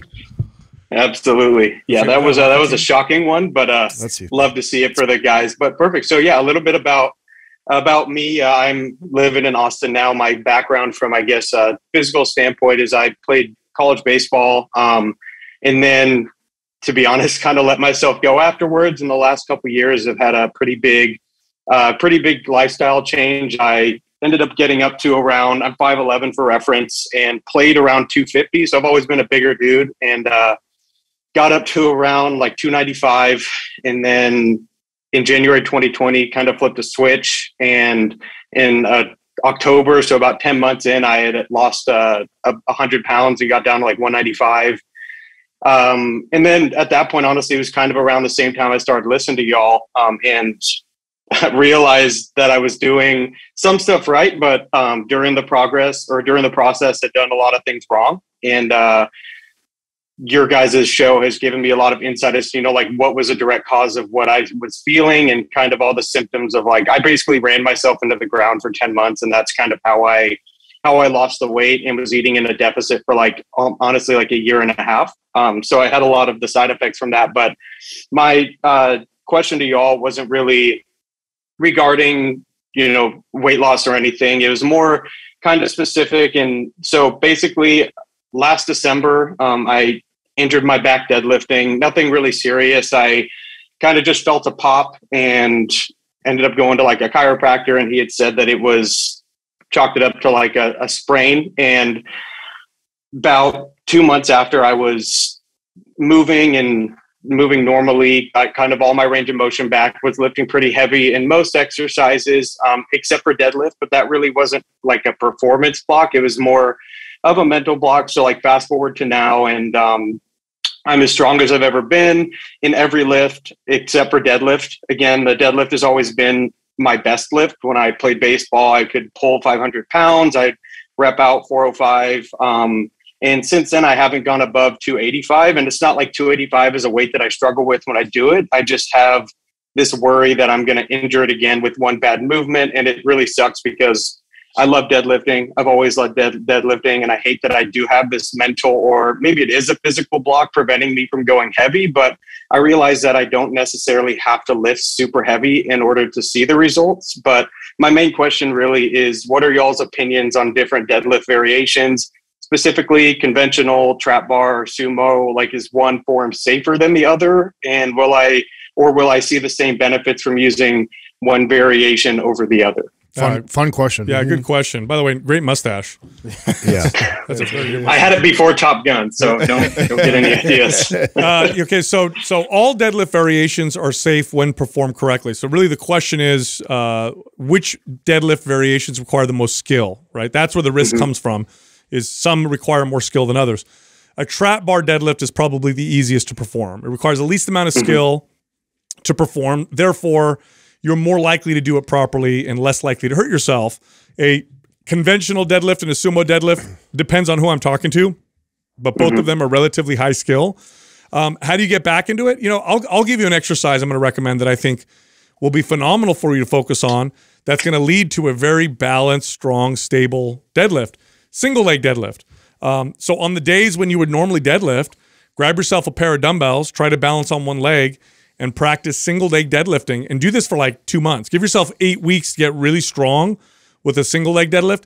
Then go back to deadlifting, whatever preferred variation you like, conventional sumo or trap and then notice how you feel. That may help you with the the mental part because you're going to feel very stable. I've done this before, and it makes a very big difference in how I feel when I pull the weight off. I feel so stable and so safe because I got better at the single leg deadlift. And many times when you feel or hear a pop like that, especially when you're lifting really heavy in the deadlift, it has mm-hmm. something to do with something an instability from left to right, right? So mm-hmm. like you have a weakness, Okay. one side's a little more dominant than There's the a other. discrepancy somewhere. And yeah, there's a little bit of a discrepancy there. You're you're you're loading really heavy and that little bit of a tweak in that movement is all it took for that pop to happen. And so Sal's advice is brilliant, and this is what I would I would totally do if I was training you. Is uh, we would just set a goal of like we're gonna get hella good at the single leg deadlift. And let me tell you, uh, so if you go back far enough on my Instagram, you can mm-hmm. you can scroll down where I, I went on a kick for the same reason by the way. I was I was progressing really fast in deadlift. It was back in the days when I was chasing Sal. I kind of tweaked my back a little bit and instead of going right back to going heavy deadlift I went back I went to single deadlift. And I think I had to start I want to say with like 40 or 50 pound you know dumbbells you know balancing and it was really hard just to do a few of those. Worked my way up to where I was hanging on to 100 pound dumbbells on each side. Then mm-hmm. after that went back to bilateral, so both feet on the ground, deadlifting, and felt so stable and strong. So set a goal for yourself to get really good at the single leg deadlift. It's going to take a little bit of time. It's stability wise. You're going to have to regress all the way down. But what's cool if you if you've never done this before, you'll progress fast. From I went from 40 pound dumbbells to 100 pound dumbbells in like over the course of a month and a half. So really quick. Oh, wow. You'll get strong there because it's probably very novel. and yeah, probably and haven't done even this this uh, injury too will your uh, recruitment patterns are going to change a bit just from that. So, uh, you know, the hesitancy, um, you know, psychologically, obviously, you might feel that, but also too, like your body is going to recruit a little bit differently, and this is why, uh, too, like I was going to point you into map symmetry. Do you have map symmetry? Okay. Uh, no, I don't. Okay, we'll we'll definitely get you map symmetry because there's going to be a Okay. lot of those little inconsistencies, imbalances, um, you know, discrepancies that you're going to find, like Adam was talking about, left to right, or uh, you know, just a, a weakness in terms of like, uh, you know, a loss of of recruitment in certain you know movements and and certain like staple things that you've been doing, just because your body is a very protective uh, uh, uh, uh, body. Well, I'm trying to think of the word. Yeah, well, it's trying to prevent injury. Engine. Yeah. it's trying to prevent injury. Yeah. Um, uh, no, I think symmetry is a great, uh, a great program to follow. When you do the single leg deadlift, start. You're going to see there's definitely going to be a discrepancy left to right. One side you'll have way Mm-hmm. more stability and balance and control and better form. The other side will probably be a little off. Super normal. Mm-hmm. Start with the the shitty side. Okay, the side that you struggle with the stability and and wherever your form breaks down. So even if you got the strength to do more reps, but wherever your form breaks down on that on that unstable, that weak side, stop it there mm-hmm. and mirror it on the opposite side. Don't Don't let yourself be tempted to do more on the dominant side, or don't start the the exercise on the dominant side. Always start on the weak side first, and then allow the the the the uh, dominant side to mirror whatever you can do Yeah, on the weak side. the side. weak side's going to gonna dictate how many reps and what the weight is. Um, are you Okay. familiar with the the a windmill windmill exercise? Is that the not with like uh like dumbbells, like a shoulder exercise, right? Uh, well, that- you can use dumbbells. Uh, you could just do it with your body. Um, so Justin did a webinar. Uh, I think it's is it Maps Prime Maps webinar. Prime webinar. In there, he demonstrates a windmill test, but you can do it as an exercise. I've found that for people who hurt them, their backs Yeah. deadlifting, the windmill is a wonderful exercise to help correct some of those issues because it it it, it oftentimes comes from like the QL muscle mm-hmm. is where you get an mm-hmm. imbalance or the rotational stability is a little off. So I like windmills for you as like a, a way to prime your body before you deadlift, like I a warm that. up almost. I love that. Perfect. Okay. And in terms of the the single leg, is it more of like it's like a single single leg RDL type deadlift, or Go go on my. Do you have Instagram? yeah, I follow you. I'll just I'll just yeah, scroll. It's not that far. It's Yeah. scroll scroll down. There's you'll- there's bend in the knee. You're you're you're bending Yeah. the knee and like you would with the deadlift. So it's not an RDL. It's a deadlift. Oh, I one see. leg. I think I think I yeah. Okay, And I remember what you're. I've seen it on there. I know what you're talking about now. Okay. Yep. All right. Okay, yeah, because I do. That's kind of the one thing I resorted to was the single leg stuff, um, especially because I did notice almost right away. Um, I'm a big golfer, so when I tried to reintroduce, like, I couldn't swing a golf club really for like a month. So when I brought that back, I definitely noticed um, certain tension on one side of the body, um, even just like walking around. So I introduced more single leg stuff, like uh, like hack squats and um, just more lunges. Um, and I probably should do them more. I don't do them every leg day, but I definitely should make them more um, more consistent because I just like the way I feel when I do them more. But I do have sort of a I, one thing I'm trying to overcome is the the mental aspect of like I said, I had pretty much run myself into the ground, and at that point, I was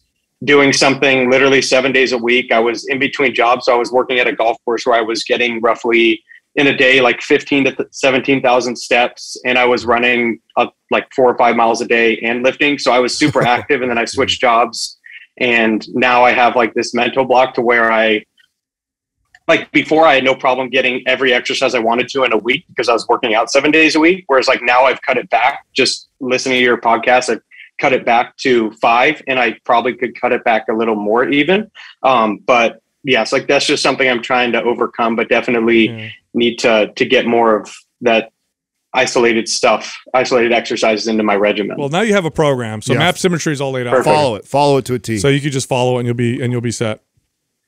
Perfect. And I did just have one more kind of.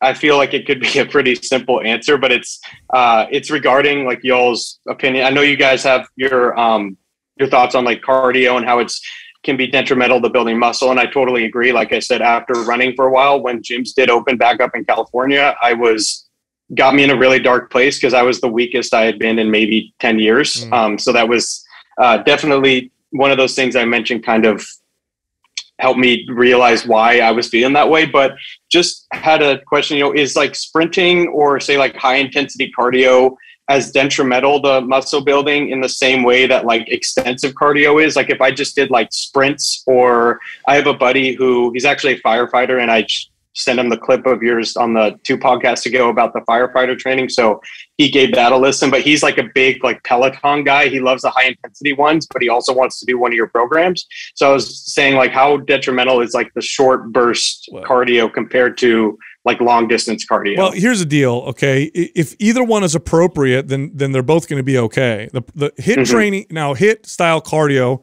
is more anaerobic, but if you throw that on top of a routine and it pushes you into too much exercise over training, it's going to do the Yeah. same thing. It's not going to be good. So okay. and then the other thing is HIIT cardio. Uh, it requires a lot more stability and skill and mobility. So if you have, if you don't run very well, slow for long distances, sprinting you're going Mhm. to run even worse, and and you're going hard and fast, and so you'll hurt yourself. So so those are things to pay attention to. But you know, Okay. if you want to throw in some cardio and it's appropriate. I think uh, you know two or three days a week of 15 minutes of HIIT cardio is, is perfectly fine. Um, and and Okay. choose choose a method that for you doesn't require a ton of skill. Like if you feel more confident doing sprints on a bike, um, then you can do that and you'll get you'll get great results. It doesn't have to be on a treadmill.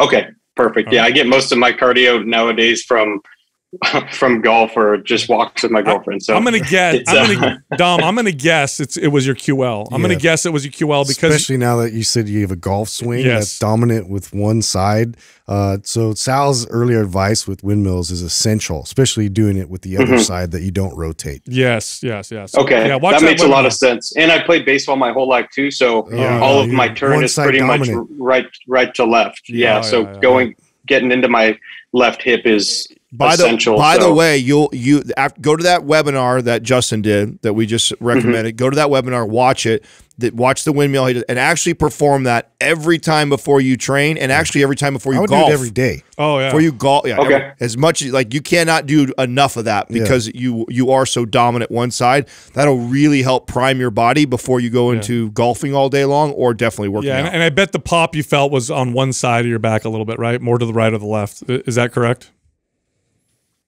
To be honest, I, I don't really remember where where I felt the pop. I just remember the pressure being kind of on my right side Yeah. afterwards. Sounds like it sounds mm-hmm. like QL. I'm just. I mm-hmm. mean, this is just me over the over the air Yeah. diagnosing. I'd have to do more stuff, but it sounds like QL, especially with your baseball and golf. So windmill. yeah, I mean, it's going to be a yeah, lifesaver. it's it's it's. I'm like like I said, I'm like in lower body lit. Really, anything that requires load on on my on my back or heavy leg stuff. Like I'm as strong as I've ever been right now, and that's uh, so I don't really. It's I think it's a lot of it is the mental block, but definitely think the symmetry stuff is gonna is gonna help also. Excellent. Yeah, yeah. All right, man. Well, thanks for calling in. Perfect. Yeah, I appreciate y'all. Thank You you, got again for what you do, and uh, have a good rest of your day. Thank Take you. it easy, Dom. I'll tell you what, QL strains suck really Oh, yeah, bad. yeah. It ruins a lot. You know what else we could have recommended were suitcase carries. Mm. so like walking with a dumbbell on Well, one there's a side, lot uh, anti-rotational stuff would be great for Yeah. him too. Like I mean, there's a lot of stuff that you could we could go down Yeah. there. That makes so much sense now, like being so right side dominant Sure. that rotational movement. It really is, you know, over the years and how long he's been doing that, it has to play a massive factor it- in his imbalances. If he gets good at the windmill and gets good at single leg deadlifts, he's going to see tremendous. Oh, those th- those two alone. Huge. Just huge. get get good at doing when, the when did we drop symmetry? It's been a it's been enough time because I'm getting DMs now from people who've been following it. So it's been long enough, right? Where people have been able to Yeah, follow earlier for a few this months. year, right? Yeah. So and the and I'm I'm getting crazy crazy DMs. I think the unilateral training, the focus on that, and, and balancing right to left, so valuable for probably everybody. Not just Mm-hmm. this guy, but probably everybody. Our next caller is Lorette from Pennsylvania. Hey, Lorette, how can we help you? Hi, um, just want to say hello to you, Sal and Adam and Justin. It's been a pleasure listening to your uh, podcast.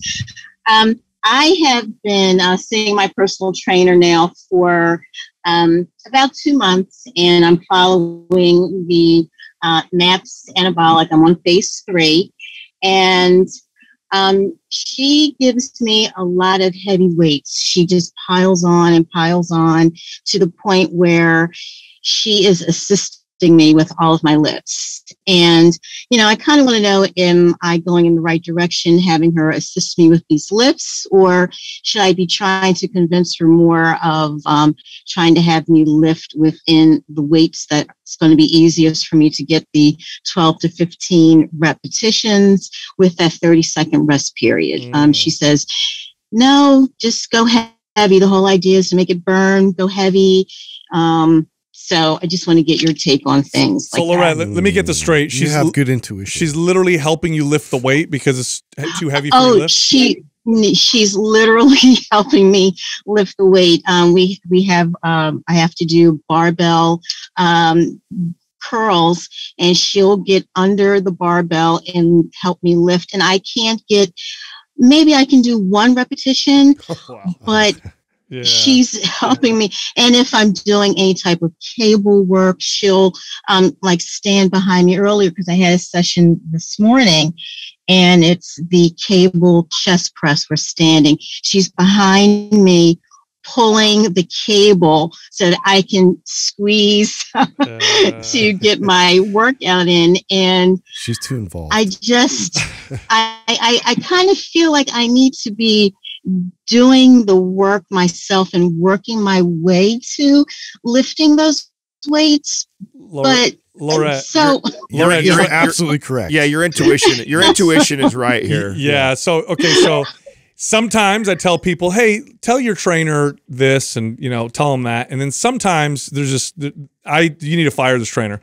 Uh, if they're doing all of That's this, my yeah, if they're doing this, that's my question. Should I fire my trainer? yeah, you need to. We gotta They're- find you somebody They're not a good trainer because I would literally have to coach this trainer for. A Well, I will. I will. I will. The, it's nice that she's letting you run maps anabolic because some trainers are so mm-hmm. adamant about not running somebody else's. but she's program. not running maps Did- anabolic. Nowhere in maps anabolic. She's doing half No. maps anabolic. Yeah, it- nowhere in the program does it say you know have someone do forced reps. How, how did that go down? Did you twist her arm to let you follow it? How did how did that? I'm curious to how that went down. No, she she was very um, receptive to following um, maps and anabolic, but she piles on.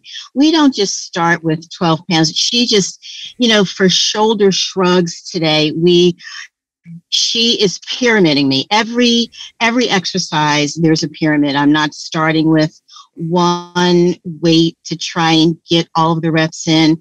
You know, we're doing 25. Then we move to 30. Then we go to 35. She says, it's got to burn. You have to push yourself. You have to push yourself. I'm like, like, okay. I said, that's not what the guys say.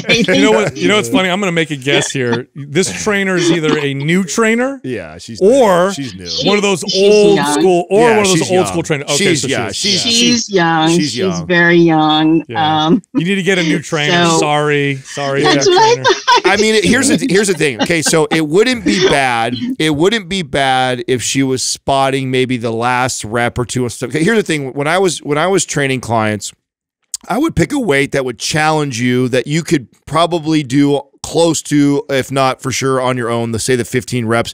And as soon as my I saw my clients form maybe sort of deviate, I would get under the bar and guide the weight so they could keep that mm-hmm. rhythm going. But if you're mm-hmm. struggling by rep th- Oh. three, if it's already hard for you at rep three and she's having to help you all the way to 15, that's way too heavy. Yeah, and to be honest with you, even towards the end of my career when I got really good, if I saw a clients form break down uh, and they didn't complete the reps that we were aiming You for, I would, the I would go You lighter. drop the Yeah, weight. yeah. Yeah, I would go lighter. Mm-hmm. So you're, she's training you too hard. The intensity's too high, mm-hmm. and it's it's a recipe for disaster. So either you're going to overtrain Right, your I body, have- or you're going to hurt yourself. yeah, I've been asking. I've been asking her, can we just lower the intensity a little bit? She says, no, no, we have to go hard. We have to go hard. And she, she's That's really, we have to go mind, hard. yeah. We have to go hard. she's, dr- and she's drinking her Rockstar um, before she's training you. yes i mean so i you know i will say um, on a positive side i have been training with her for a month and during that time uh, my muscle mass has increased by 2% my fat percentage has gone down by 2% and i've gained two pounds so i don't know if that's a good thing or Well- a bad thing but Well, Lorette, Um, before you trained with her, were you doing a lot of exercise, or was this kind of your? Were you just getting started with her? No, I um, you know, I have been exercising. And My my journey started about 28 years ago, but over COVID, that's when everything went haywire. So Yeah. I'm back in the gym now that gyms are open and just trying to get um get back into the flow of exercising, but I was doing it m- on my own and I thought that I needed someone to push me more. and that's why I went with Got a personal No, trainer. Yeah, no. but- So, so you you im- you improved in spite of uh, the, the the terrible training that she's giving you, and you'll get that when you first start. When people first start, their body progresses almost no matter what. I mean, you really have to Yeah. kill someone to get their body it's to not, not respond. sustainable. Yeah. And that plus, you pr- were you an athlete in the past? You said you worked out for a long time. I did, yeah, and just, but you know, I'm an older person, I have to say, but um, yeah, I did. I started, and you know, I was at 15%. This was in my late to early 30s, up into my 40s, and you know, it's been really difficult. Change of life, COVID, all of that, and it all hit me two years ago. So Yeah. um, I'm trying to. Um, you know, improve a little bit and see if I can get my strength back. Um, sleep's been difficult, so um, but it's getting better. So um, I'm happy about that. But I'm really being taken through the ringer with my workouts with my trainer. Yeah. As much as I love her, I think she's trying to kill me. But I'm not in any pain or anything like that. So as long as I'm not dying, maybe it's okay. But I really, really wanted to. I mean, I can do it at home. I really can. I have I, you know, I would. I would. barbells, but I do miss. No, Laura, I would. It's it's too hard, and it's it's heading in the wrong Yes, direction. It's Yeah. only been a month, so you're getting away with it. but it's Mhm. it's gonna it's gonna it's not gonna end well. So I would definitely Okay. uh, change directions. And then here's a piece of advice for hiring a trainer, Mhm. and, I, and this is for you and for anybody else watching this. Do not hire a trainer to push you. That's the wrong reason to hire. You want to hire a trainer that's going to guide you. Yeah. Well, you, you don't Mhm. need a, a, a drill sergeant to hammer you all the time. First of all, it's a very ineffective long term approach. At some point, you don't want somebody yelling at you and you're going to be over it. Um, and your body's not going to respond anymore. So if you do hire another trainer, look at them like a, a guide. Will is this the person that's going to guide me to developing this lifelong relationship with exercise where it's appropriate and effective forever? Not is this person going to push me to my absolute limits in a short period of time? That's the I don't I don't mind a trainer for the accountability piece, but not to put like right. So because because I get that part right. Like I'm I'm like that. Like I know if I invest my money into something, I'm gonna show up. Right. I don't know if you're like that or not, but that's how I. I'm like if I spent a thousand dollars on this personal trainer, I'm not gonna miss that appointment because I want to lose my money. I don't mind that. I get that. There's there's there's I think there's value in having an accountability piece, but hiring someone to like push you like that. I, you just showing up and going through Maps Anabolic, it's going to do the work. Honestly, the things that you and I would be communicating if you were climbing, especially since you had a shift and change since COVID, like your what's your work life balance. I'd be talking about sleep. I'd be talking about the things actually outside the gym that's going on in your life. How's our balance nutritionally? How's our stress levels? Like, Yeah. that's the type of stuff. I mean, what you're going to do in the gym, I think I think that's the mistake that a lot of like clients would think is that it's such a small portion of of, of your life of a fraction of the day. Yeah, it's such a small fraction of what's really going to impact your overall health and how strong you get and how much muscle and how much body fat we lose. It's all the other things. And so you and I really why we we'd be going through Maps Anabolic and we'd be talking the whole time. Yeah, you be you would be able to talk to me in rest periods, and we'd be I'd be asking you questions about your week and what's going on, and like You'd be a guide. that I would be diving into that stuff. That's a good coach will do that with you. You've especially if you got Maps Anabolic. You've already got a great program, so you don't even need the trainer to write a great program for you. You got that. I'd be diving into the other stuff with you. So if you are going to seek out another coach, look for someone who's going to look into that what your, your stuff outside of the gym because you got the program already. Okay. Very, very right. good. And I think the last part of my question had to do with just how crowded the gyms are. We spend a lot of time walking around the gym trying to find, Mm. you know, all the equipment we're looking for. There's a lot of times when the, the the uh, squat racks are full and we have to go somewhere else and then we can't find a cable machine we can't find so um, i don't get my whole workout in um, and then i find the second half of the workout i have to do when i go home wow. so um, you know i'm looking for some alternatives for those exercises i can't do when the gym is um, full and then i'm also thinking about just going back home um, i don't have a rack to do um, to put the barbell on but i do have two barbells and plates and things like that and dumbbells kettlebells um, all of these stretchy bands Well, Lorette, So- Lorette, Maps Anabolic in in the program when you open it, there's a dumbbells only version in there. So what I would do at the gym is when you're trying to work out and this and all the racks are taken, do the dumbbells only version of that exercise because or- you can always find a pair of dumbbells. Or train at home. Or train at home, I should Right, say. Yeah. right. Yeah. I mean, if, if you train at home. if But you- but I mean, you, you can always find a pair of dumbbells uh, that'll work for all these. So that so there are options. So if you go and you're like, oh man, this I don't have this rack, I don't have this exercise. Yeah. Find the dumbbells only version of it. L- then do Lorette, are you are you well and well no that's when the dumbbell area is completely full Oh man, and the ladies have and no the ladies and the guys they have maybe two or three sets of dumbbells Oh God. at their bench Yeah. Wow. Just hoarding. Good old gym so i'm talking about Yeah. yes it's just Prime time i had hours to in the run gym. through the gym Yeah. Yeah, So- no, I, I feel that. For, I feel that for sure. Uh, Lorette, are you uh, are you on Facebook? Do you? i am uh, yes Let's let's add you to the forum. I'd love to to be able to stay in touch with you as you're going through this process. And so, the guys and I I'd are. love that. Yeah, we're going to add you to the forum, so you're in there. okay Any any more questions that you have going through this process, just tag us, and we'll we'll help we'll, we'll help guide you through this. So. so all right i really appreciate it guys thank you so much and congratulations to a great job you do with your program Oh, and your thank you. podcast so thank you, appreciate i've it. started from the very beginning. You guys are hilarious. Oh God! Oh, Oh, no God! way. We were rough. We were rough back then. Oh, you're a real fan. I have uh, episode 868. So, Oh my God! so when you don't have a new episode, I just go back to all of your old, your uh, older versions. Oh, we, we have extra love. We have extra love for people that have Yeah, listened, stuck around to the, that, yeah. to God listen to bless the old yes, yes, So, uh, I really you. enjoy it. you're our people for sure. Thank you so much, Laura. all right. All right. Thank you so much, guys. Take care. You got it. Yeah, All good right, one. Bye bye. Man, I can't believe trainers still do that. Of course. Ah! And a hundred percent, trainers working out. You knew, you weight. know, it's a new one because if it was if it was an old stubborn one, they would have never let her run at Maps Anabolic. But That's true. Oh, She- good point. Uh, yeah. she's she's young and new enough to be like, oh, okay, yeah, cool. we'll do So- that, but we'll add to it. Sure, but Yeah. And I'm make it crazy hard. It. Yeah. Oh my god, it's Doing all the reps I- for her. I had a trainer like that that worked for me, and you know, she she did a good job getting clients. And I remember I had to have a tough conversation with her. And I sat her down. I said, "You're beating your clients up too much." She's like, "Well, people always sign up with me." I said, "And then they leave, they burn out." And so I had to keep having this conversation. And then it became so obvious to her.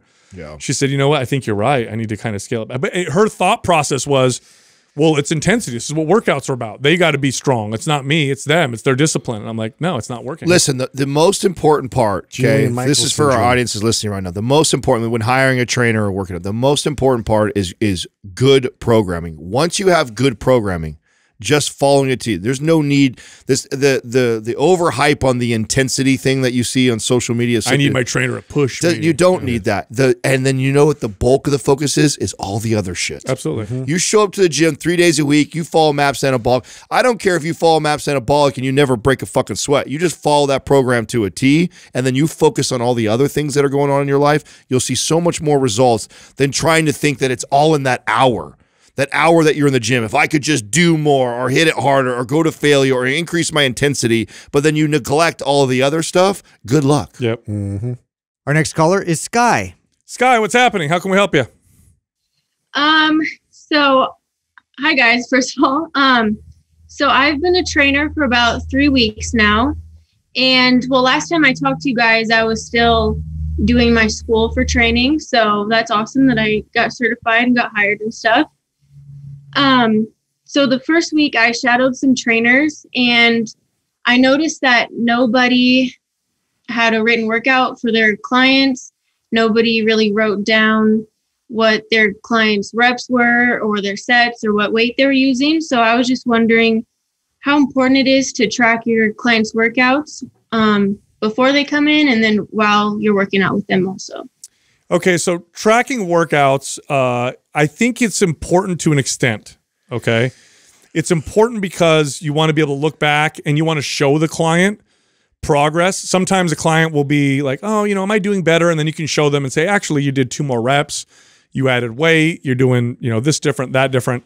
So there, that's where the importance is. But what what some trainers do is they get so hung up on tracking all the details of the workout that then they become so focused on progressing performance mm. That they don't pay attention to other things. Because progress with performance, strength, reps, that kind of stuff, it's not linear.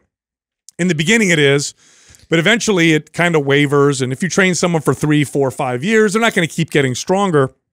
So you want to pay attention to other things. So that would be the thing I'd pay attention to. Okay. So yeah, you could track that stuff, but don't let it be the be all end all. It's definitely good information, but you also want to pay attention to their energy, how they feel, their mobility, you know, their consistency, their moods, you know, their health. Do they look vibrant? Like those are the other things that you want to pay attention to as well. I think it's especially important for new trainers.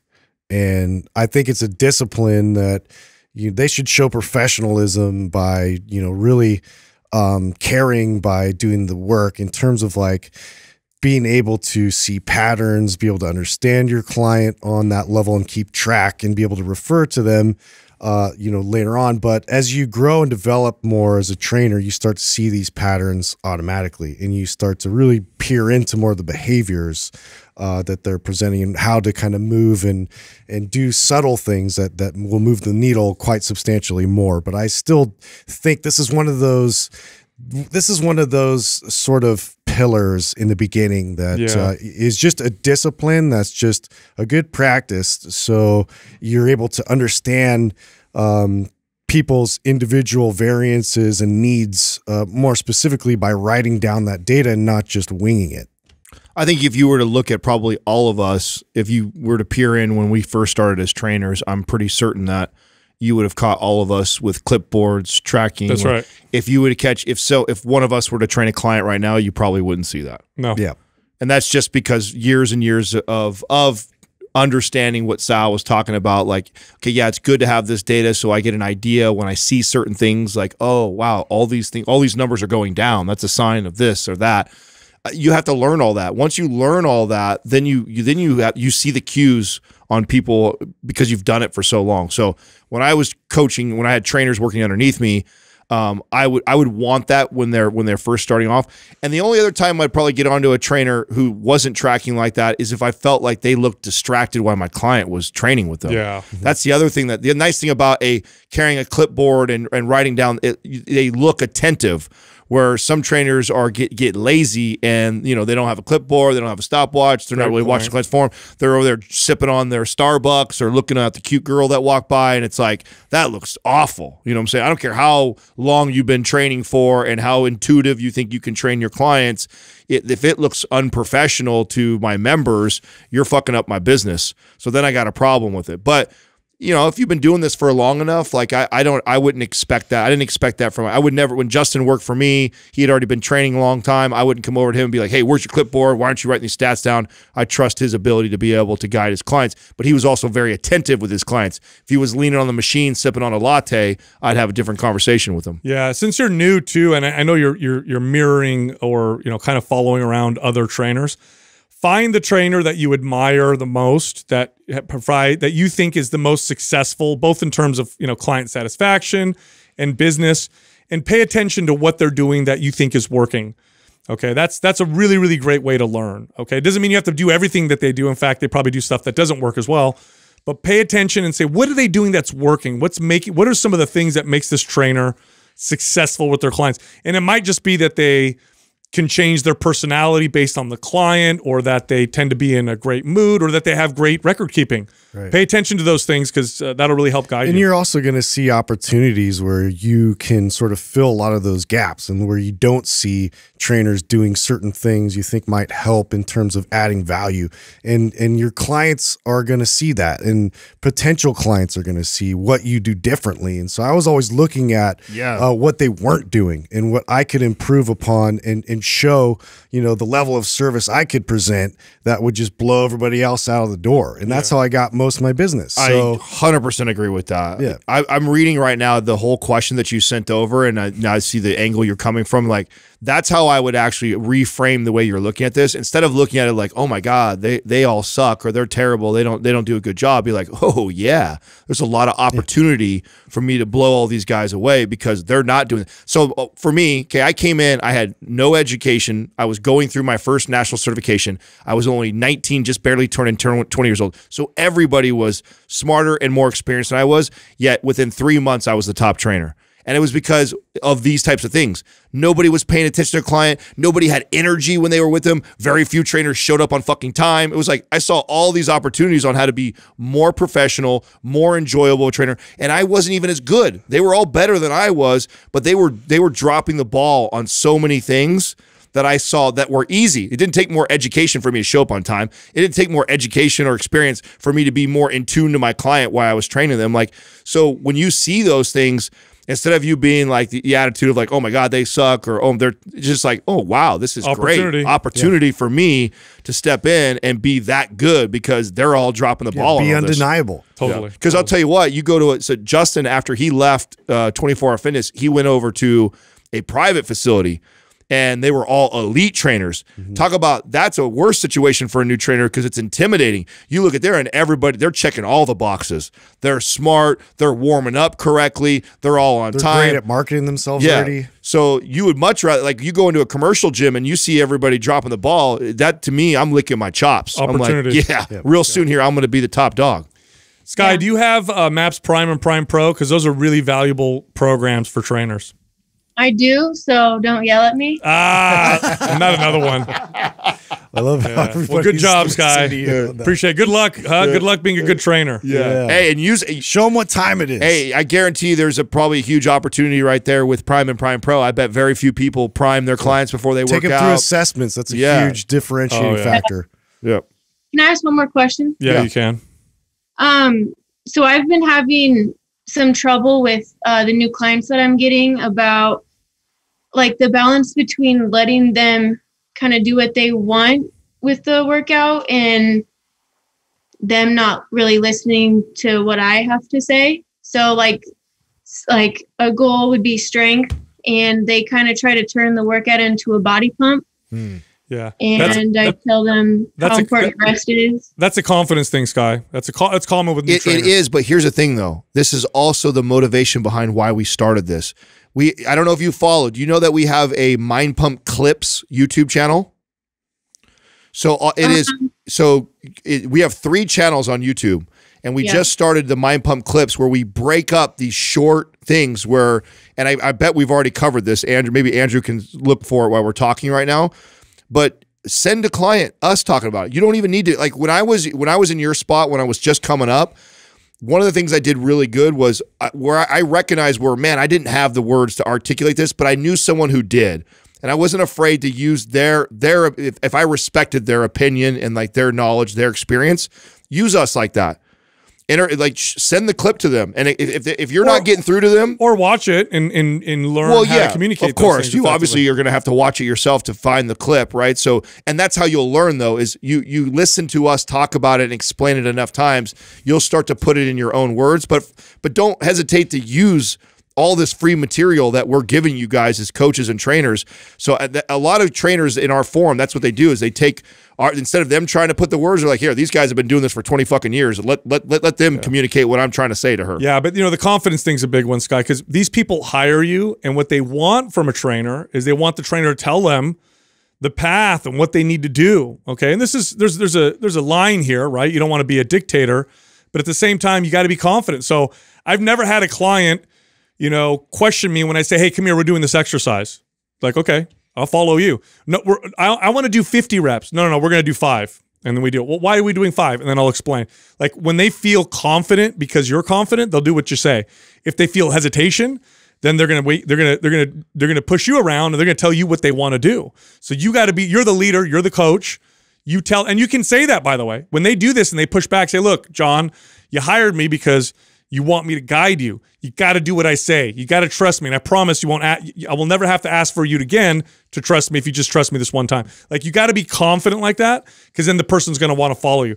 Nobody follows somebody that doesn't look like they want to lead, right? So that's the confidence you have to display. And you and look, you're the trainer. So you got to give you got to put that out there and then you're not going to get those questions. That's that's really easily said by somebody who's very confident and has no problem talking to though. Okay, so don't be. I didn't say it's easy, but that's what you got to Yeah, uh, you'll get there. Don't don't. It's not. It's okay for you to utilize people like us until you build that confidence, or while you build that confidence. Oh, that'll help because it's going to give you the information. That's that you need right, for sure, and that's yeah. and that, that and that's exactly that's exactly how I built my business. Was I didn't I didn't have the words yet. I didn't have the education yet. I didn't have the experience yet.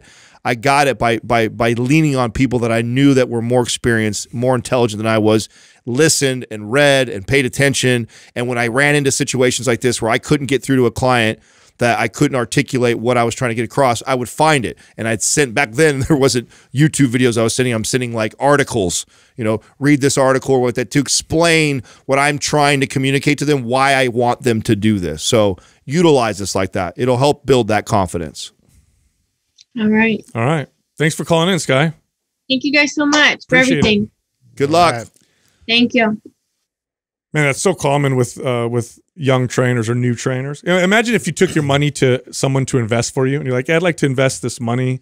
They're like, what do you want to do? And they're like, "Well, I don't know. I mean, what do you think?" You know, like, "Whoa, shit, man! You tell me, dude. You're the you know you're the guy." So Right. that's the, you got you got to put that out as a trainer um, when you're training your clients. You have to you have to put out there that you're going to do my workout. I, you hired me for, and it, and and you got to be okay saying that. Right. What's the worst possible thing that's going to happen? You you What's do, the client you Well, gonna do you say? still look strong by having by knowing somebody in your network that has answers. That's right. and, That's and the- referring because you still have the answer. You just Yes. directing it. Yeah, but the thing that the thing that I, I can totally relate to this because I actually trained like where I was at. I trained like a lot of engineers and really br- brilliant people. Rockets. I had rocket scientists. I had some freaking really smart clients when I'm 20 years old, and they want sometimes they want you to explain the detail, not Yeah. just tell me what to do. They want why. Right. Why, Adam? Am I am I having to? Why do you want me to rest for two minutes when I'm not sweating very much? And I didn't have the words yet. yeah, you got to have the yeah. No, the So. I had the confidence. I had the confidence to say, "Let's. We're going to do this," and I would do that. But then, then I would get pushback sometimes by these very intelligent people when I wasn't there yet. That would go, "Well, why are we doing this? Why aren't I doing this instead?" And then I'd be like, "Ah, Right, right, right. So th- that's what, and and so I can relate to not having the words. Like she doesn't strike me as a not a confident person, even the way she wrote her question and the way she's talking. I don't think she's not confident.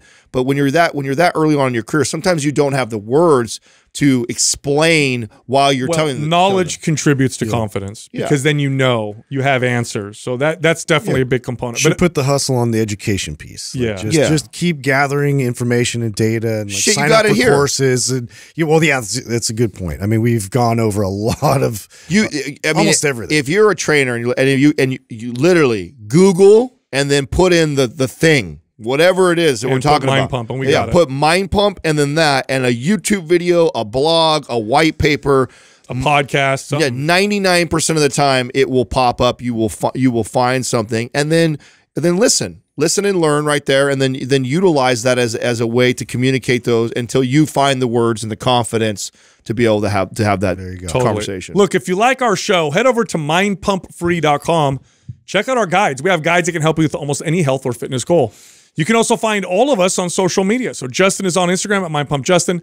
Adam is on Instagram on mindpumpAdam, and you can find me on Twitter at mindpumpsal. How do I incorporate cardio and not lose muscle? I've seen people do this before where they'll start to lose the sharpness of their muscles or they'll start to lose the sculpt a little bit. And that's disheartening. But if you do it right, then you minimize that muscle loss or that metabolism slowdown. In fact, if you do it right, you can actually speed up your metabolism at the same time that you build stamina and endurance. You just have to be able to kind of program it properly. And the way to program it improperly is just to go do as much cardio as you can for as long as you can. Right.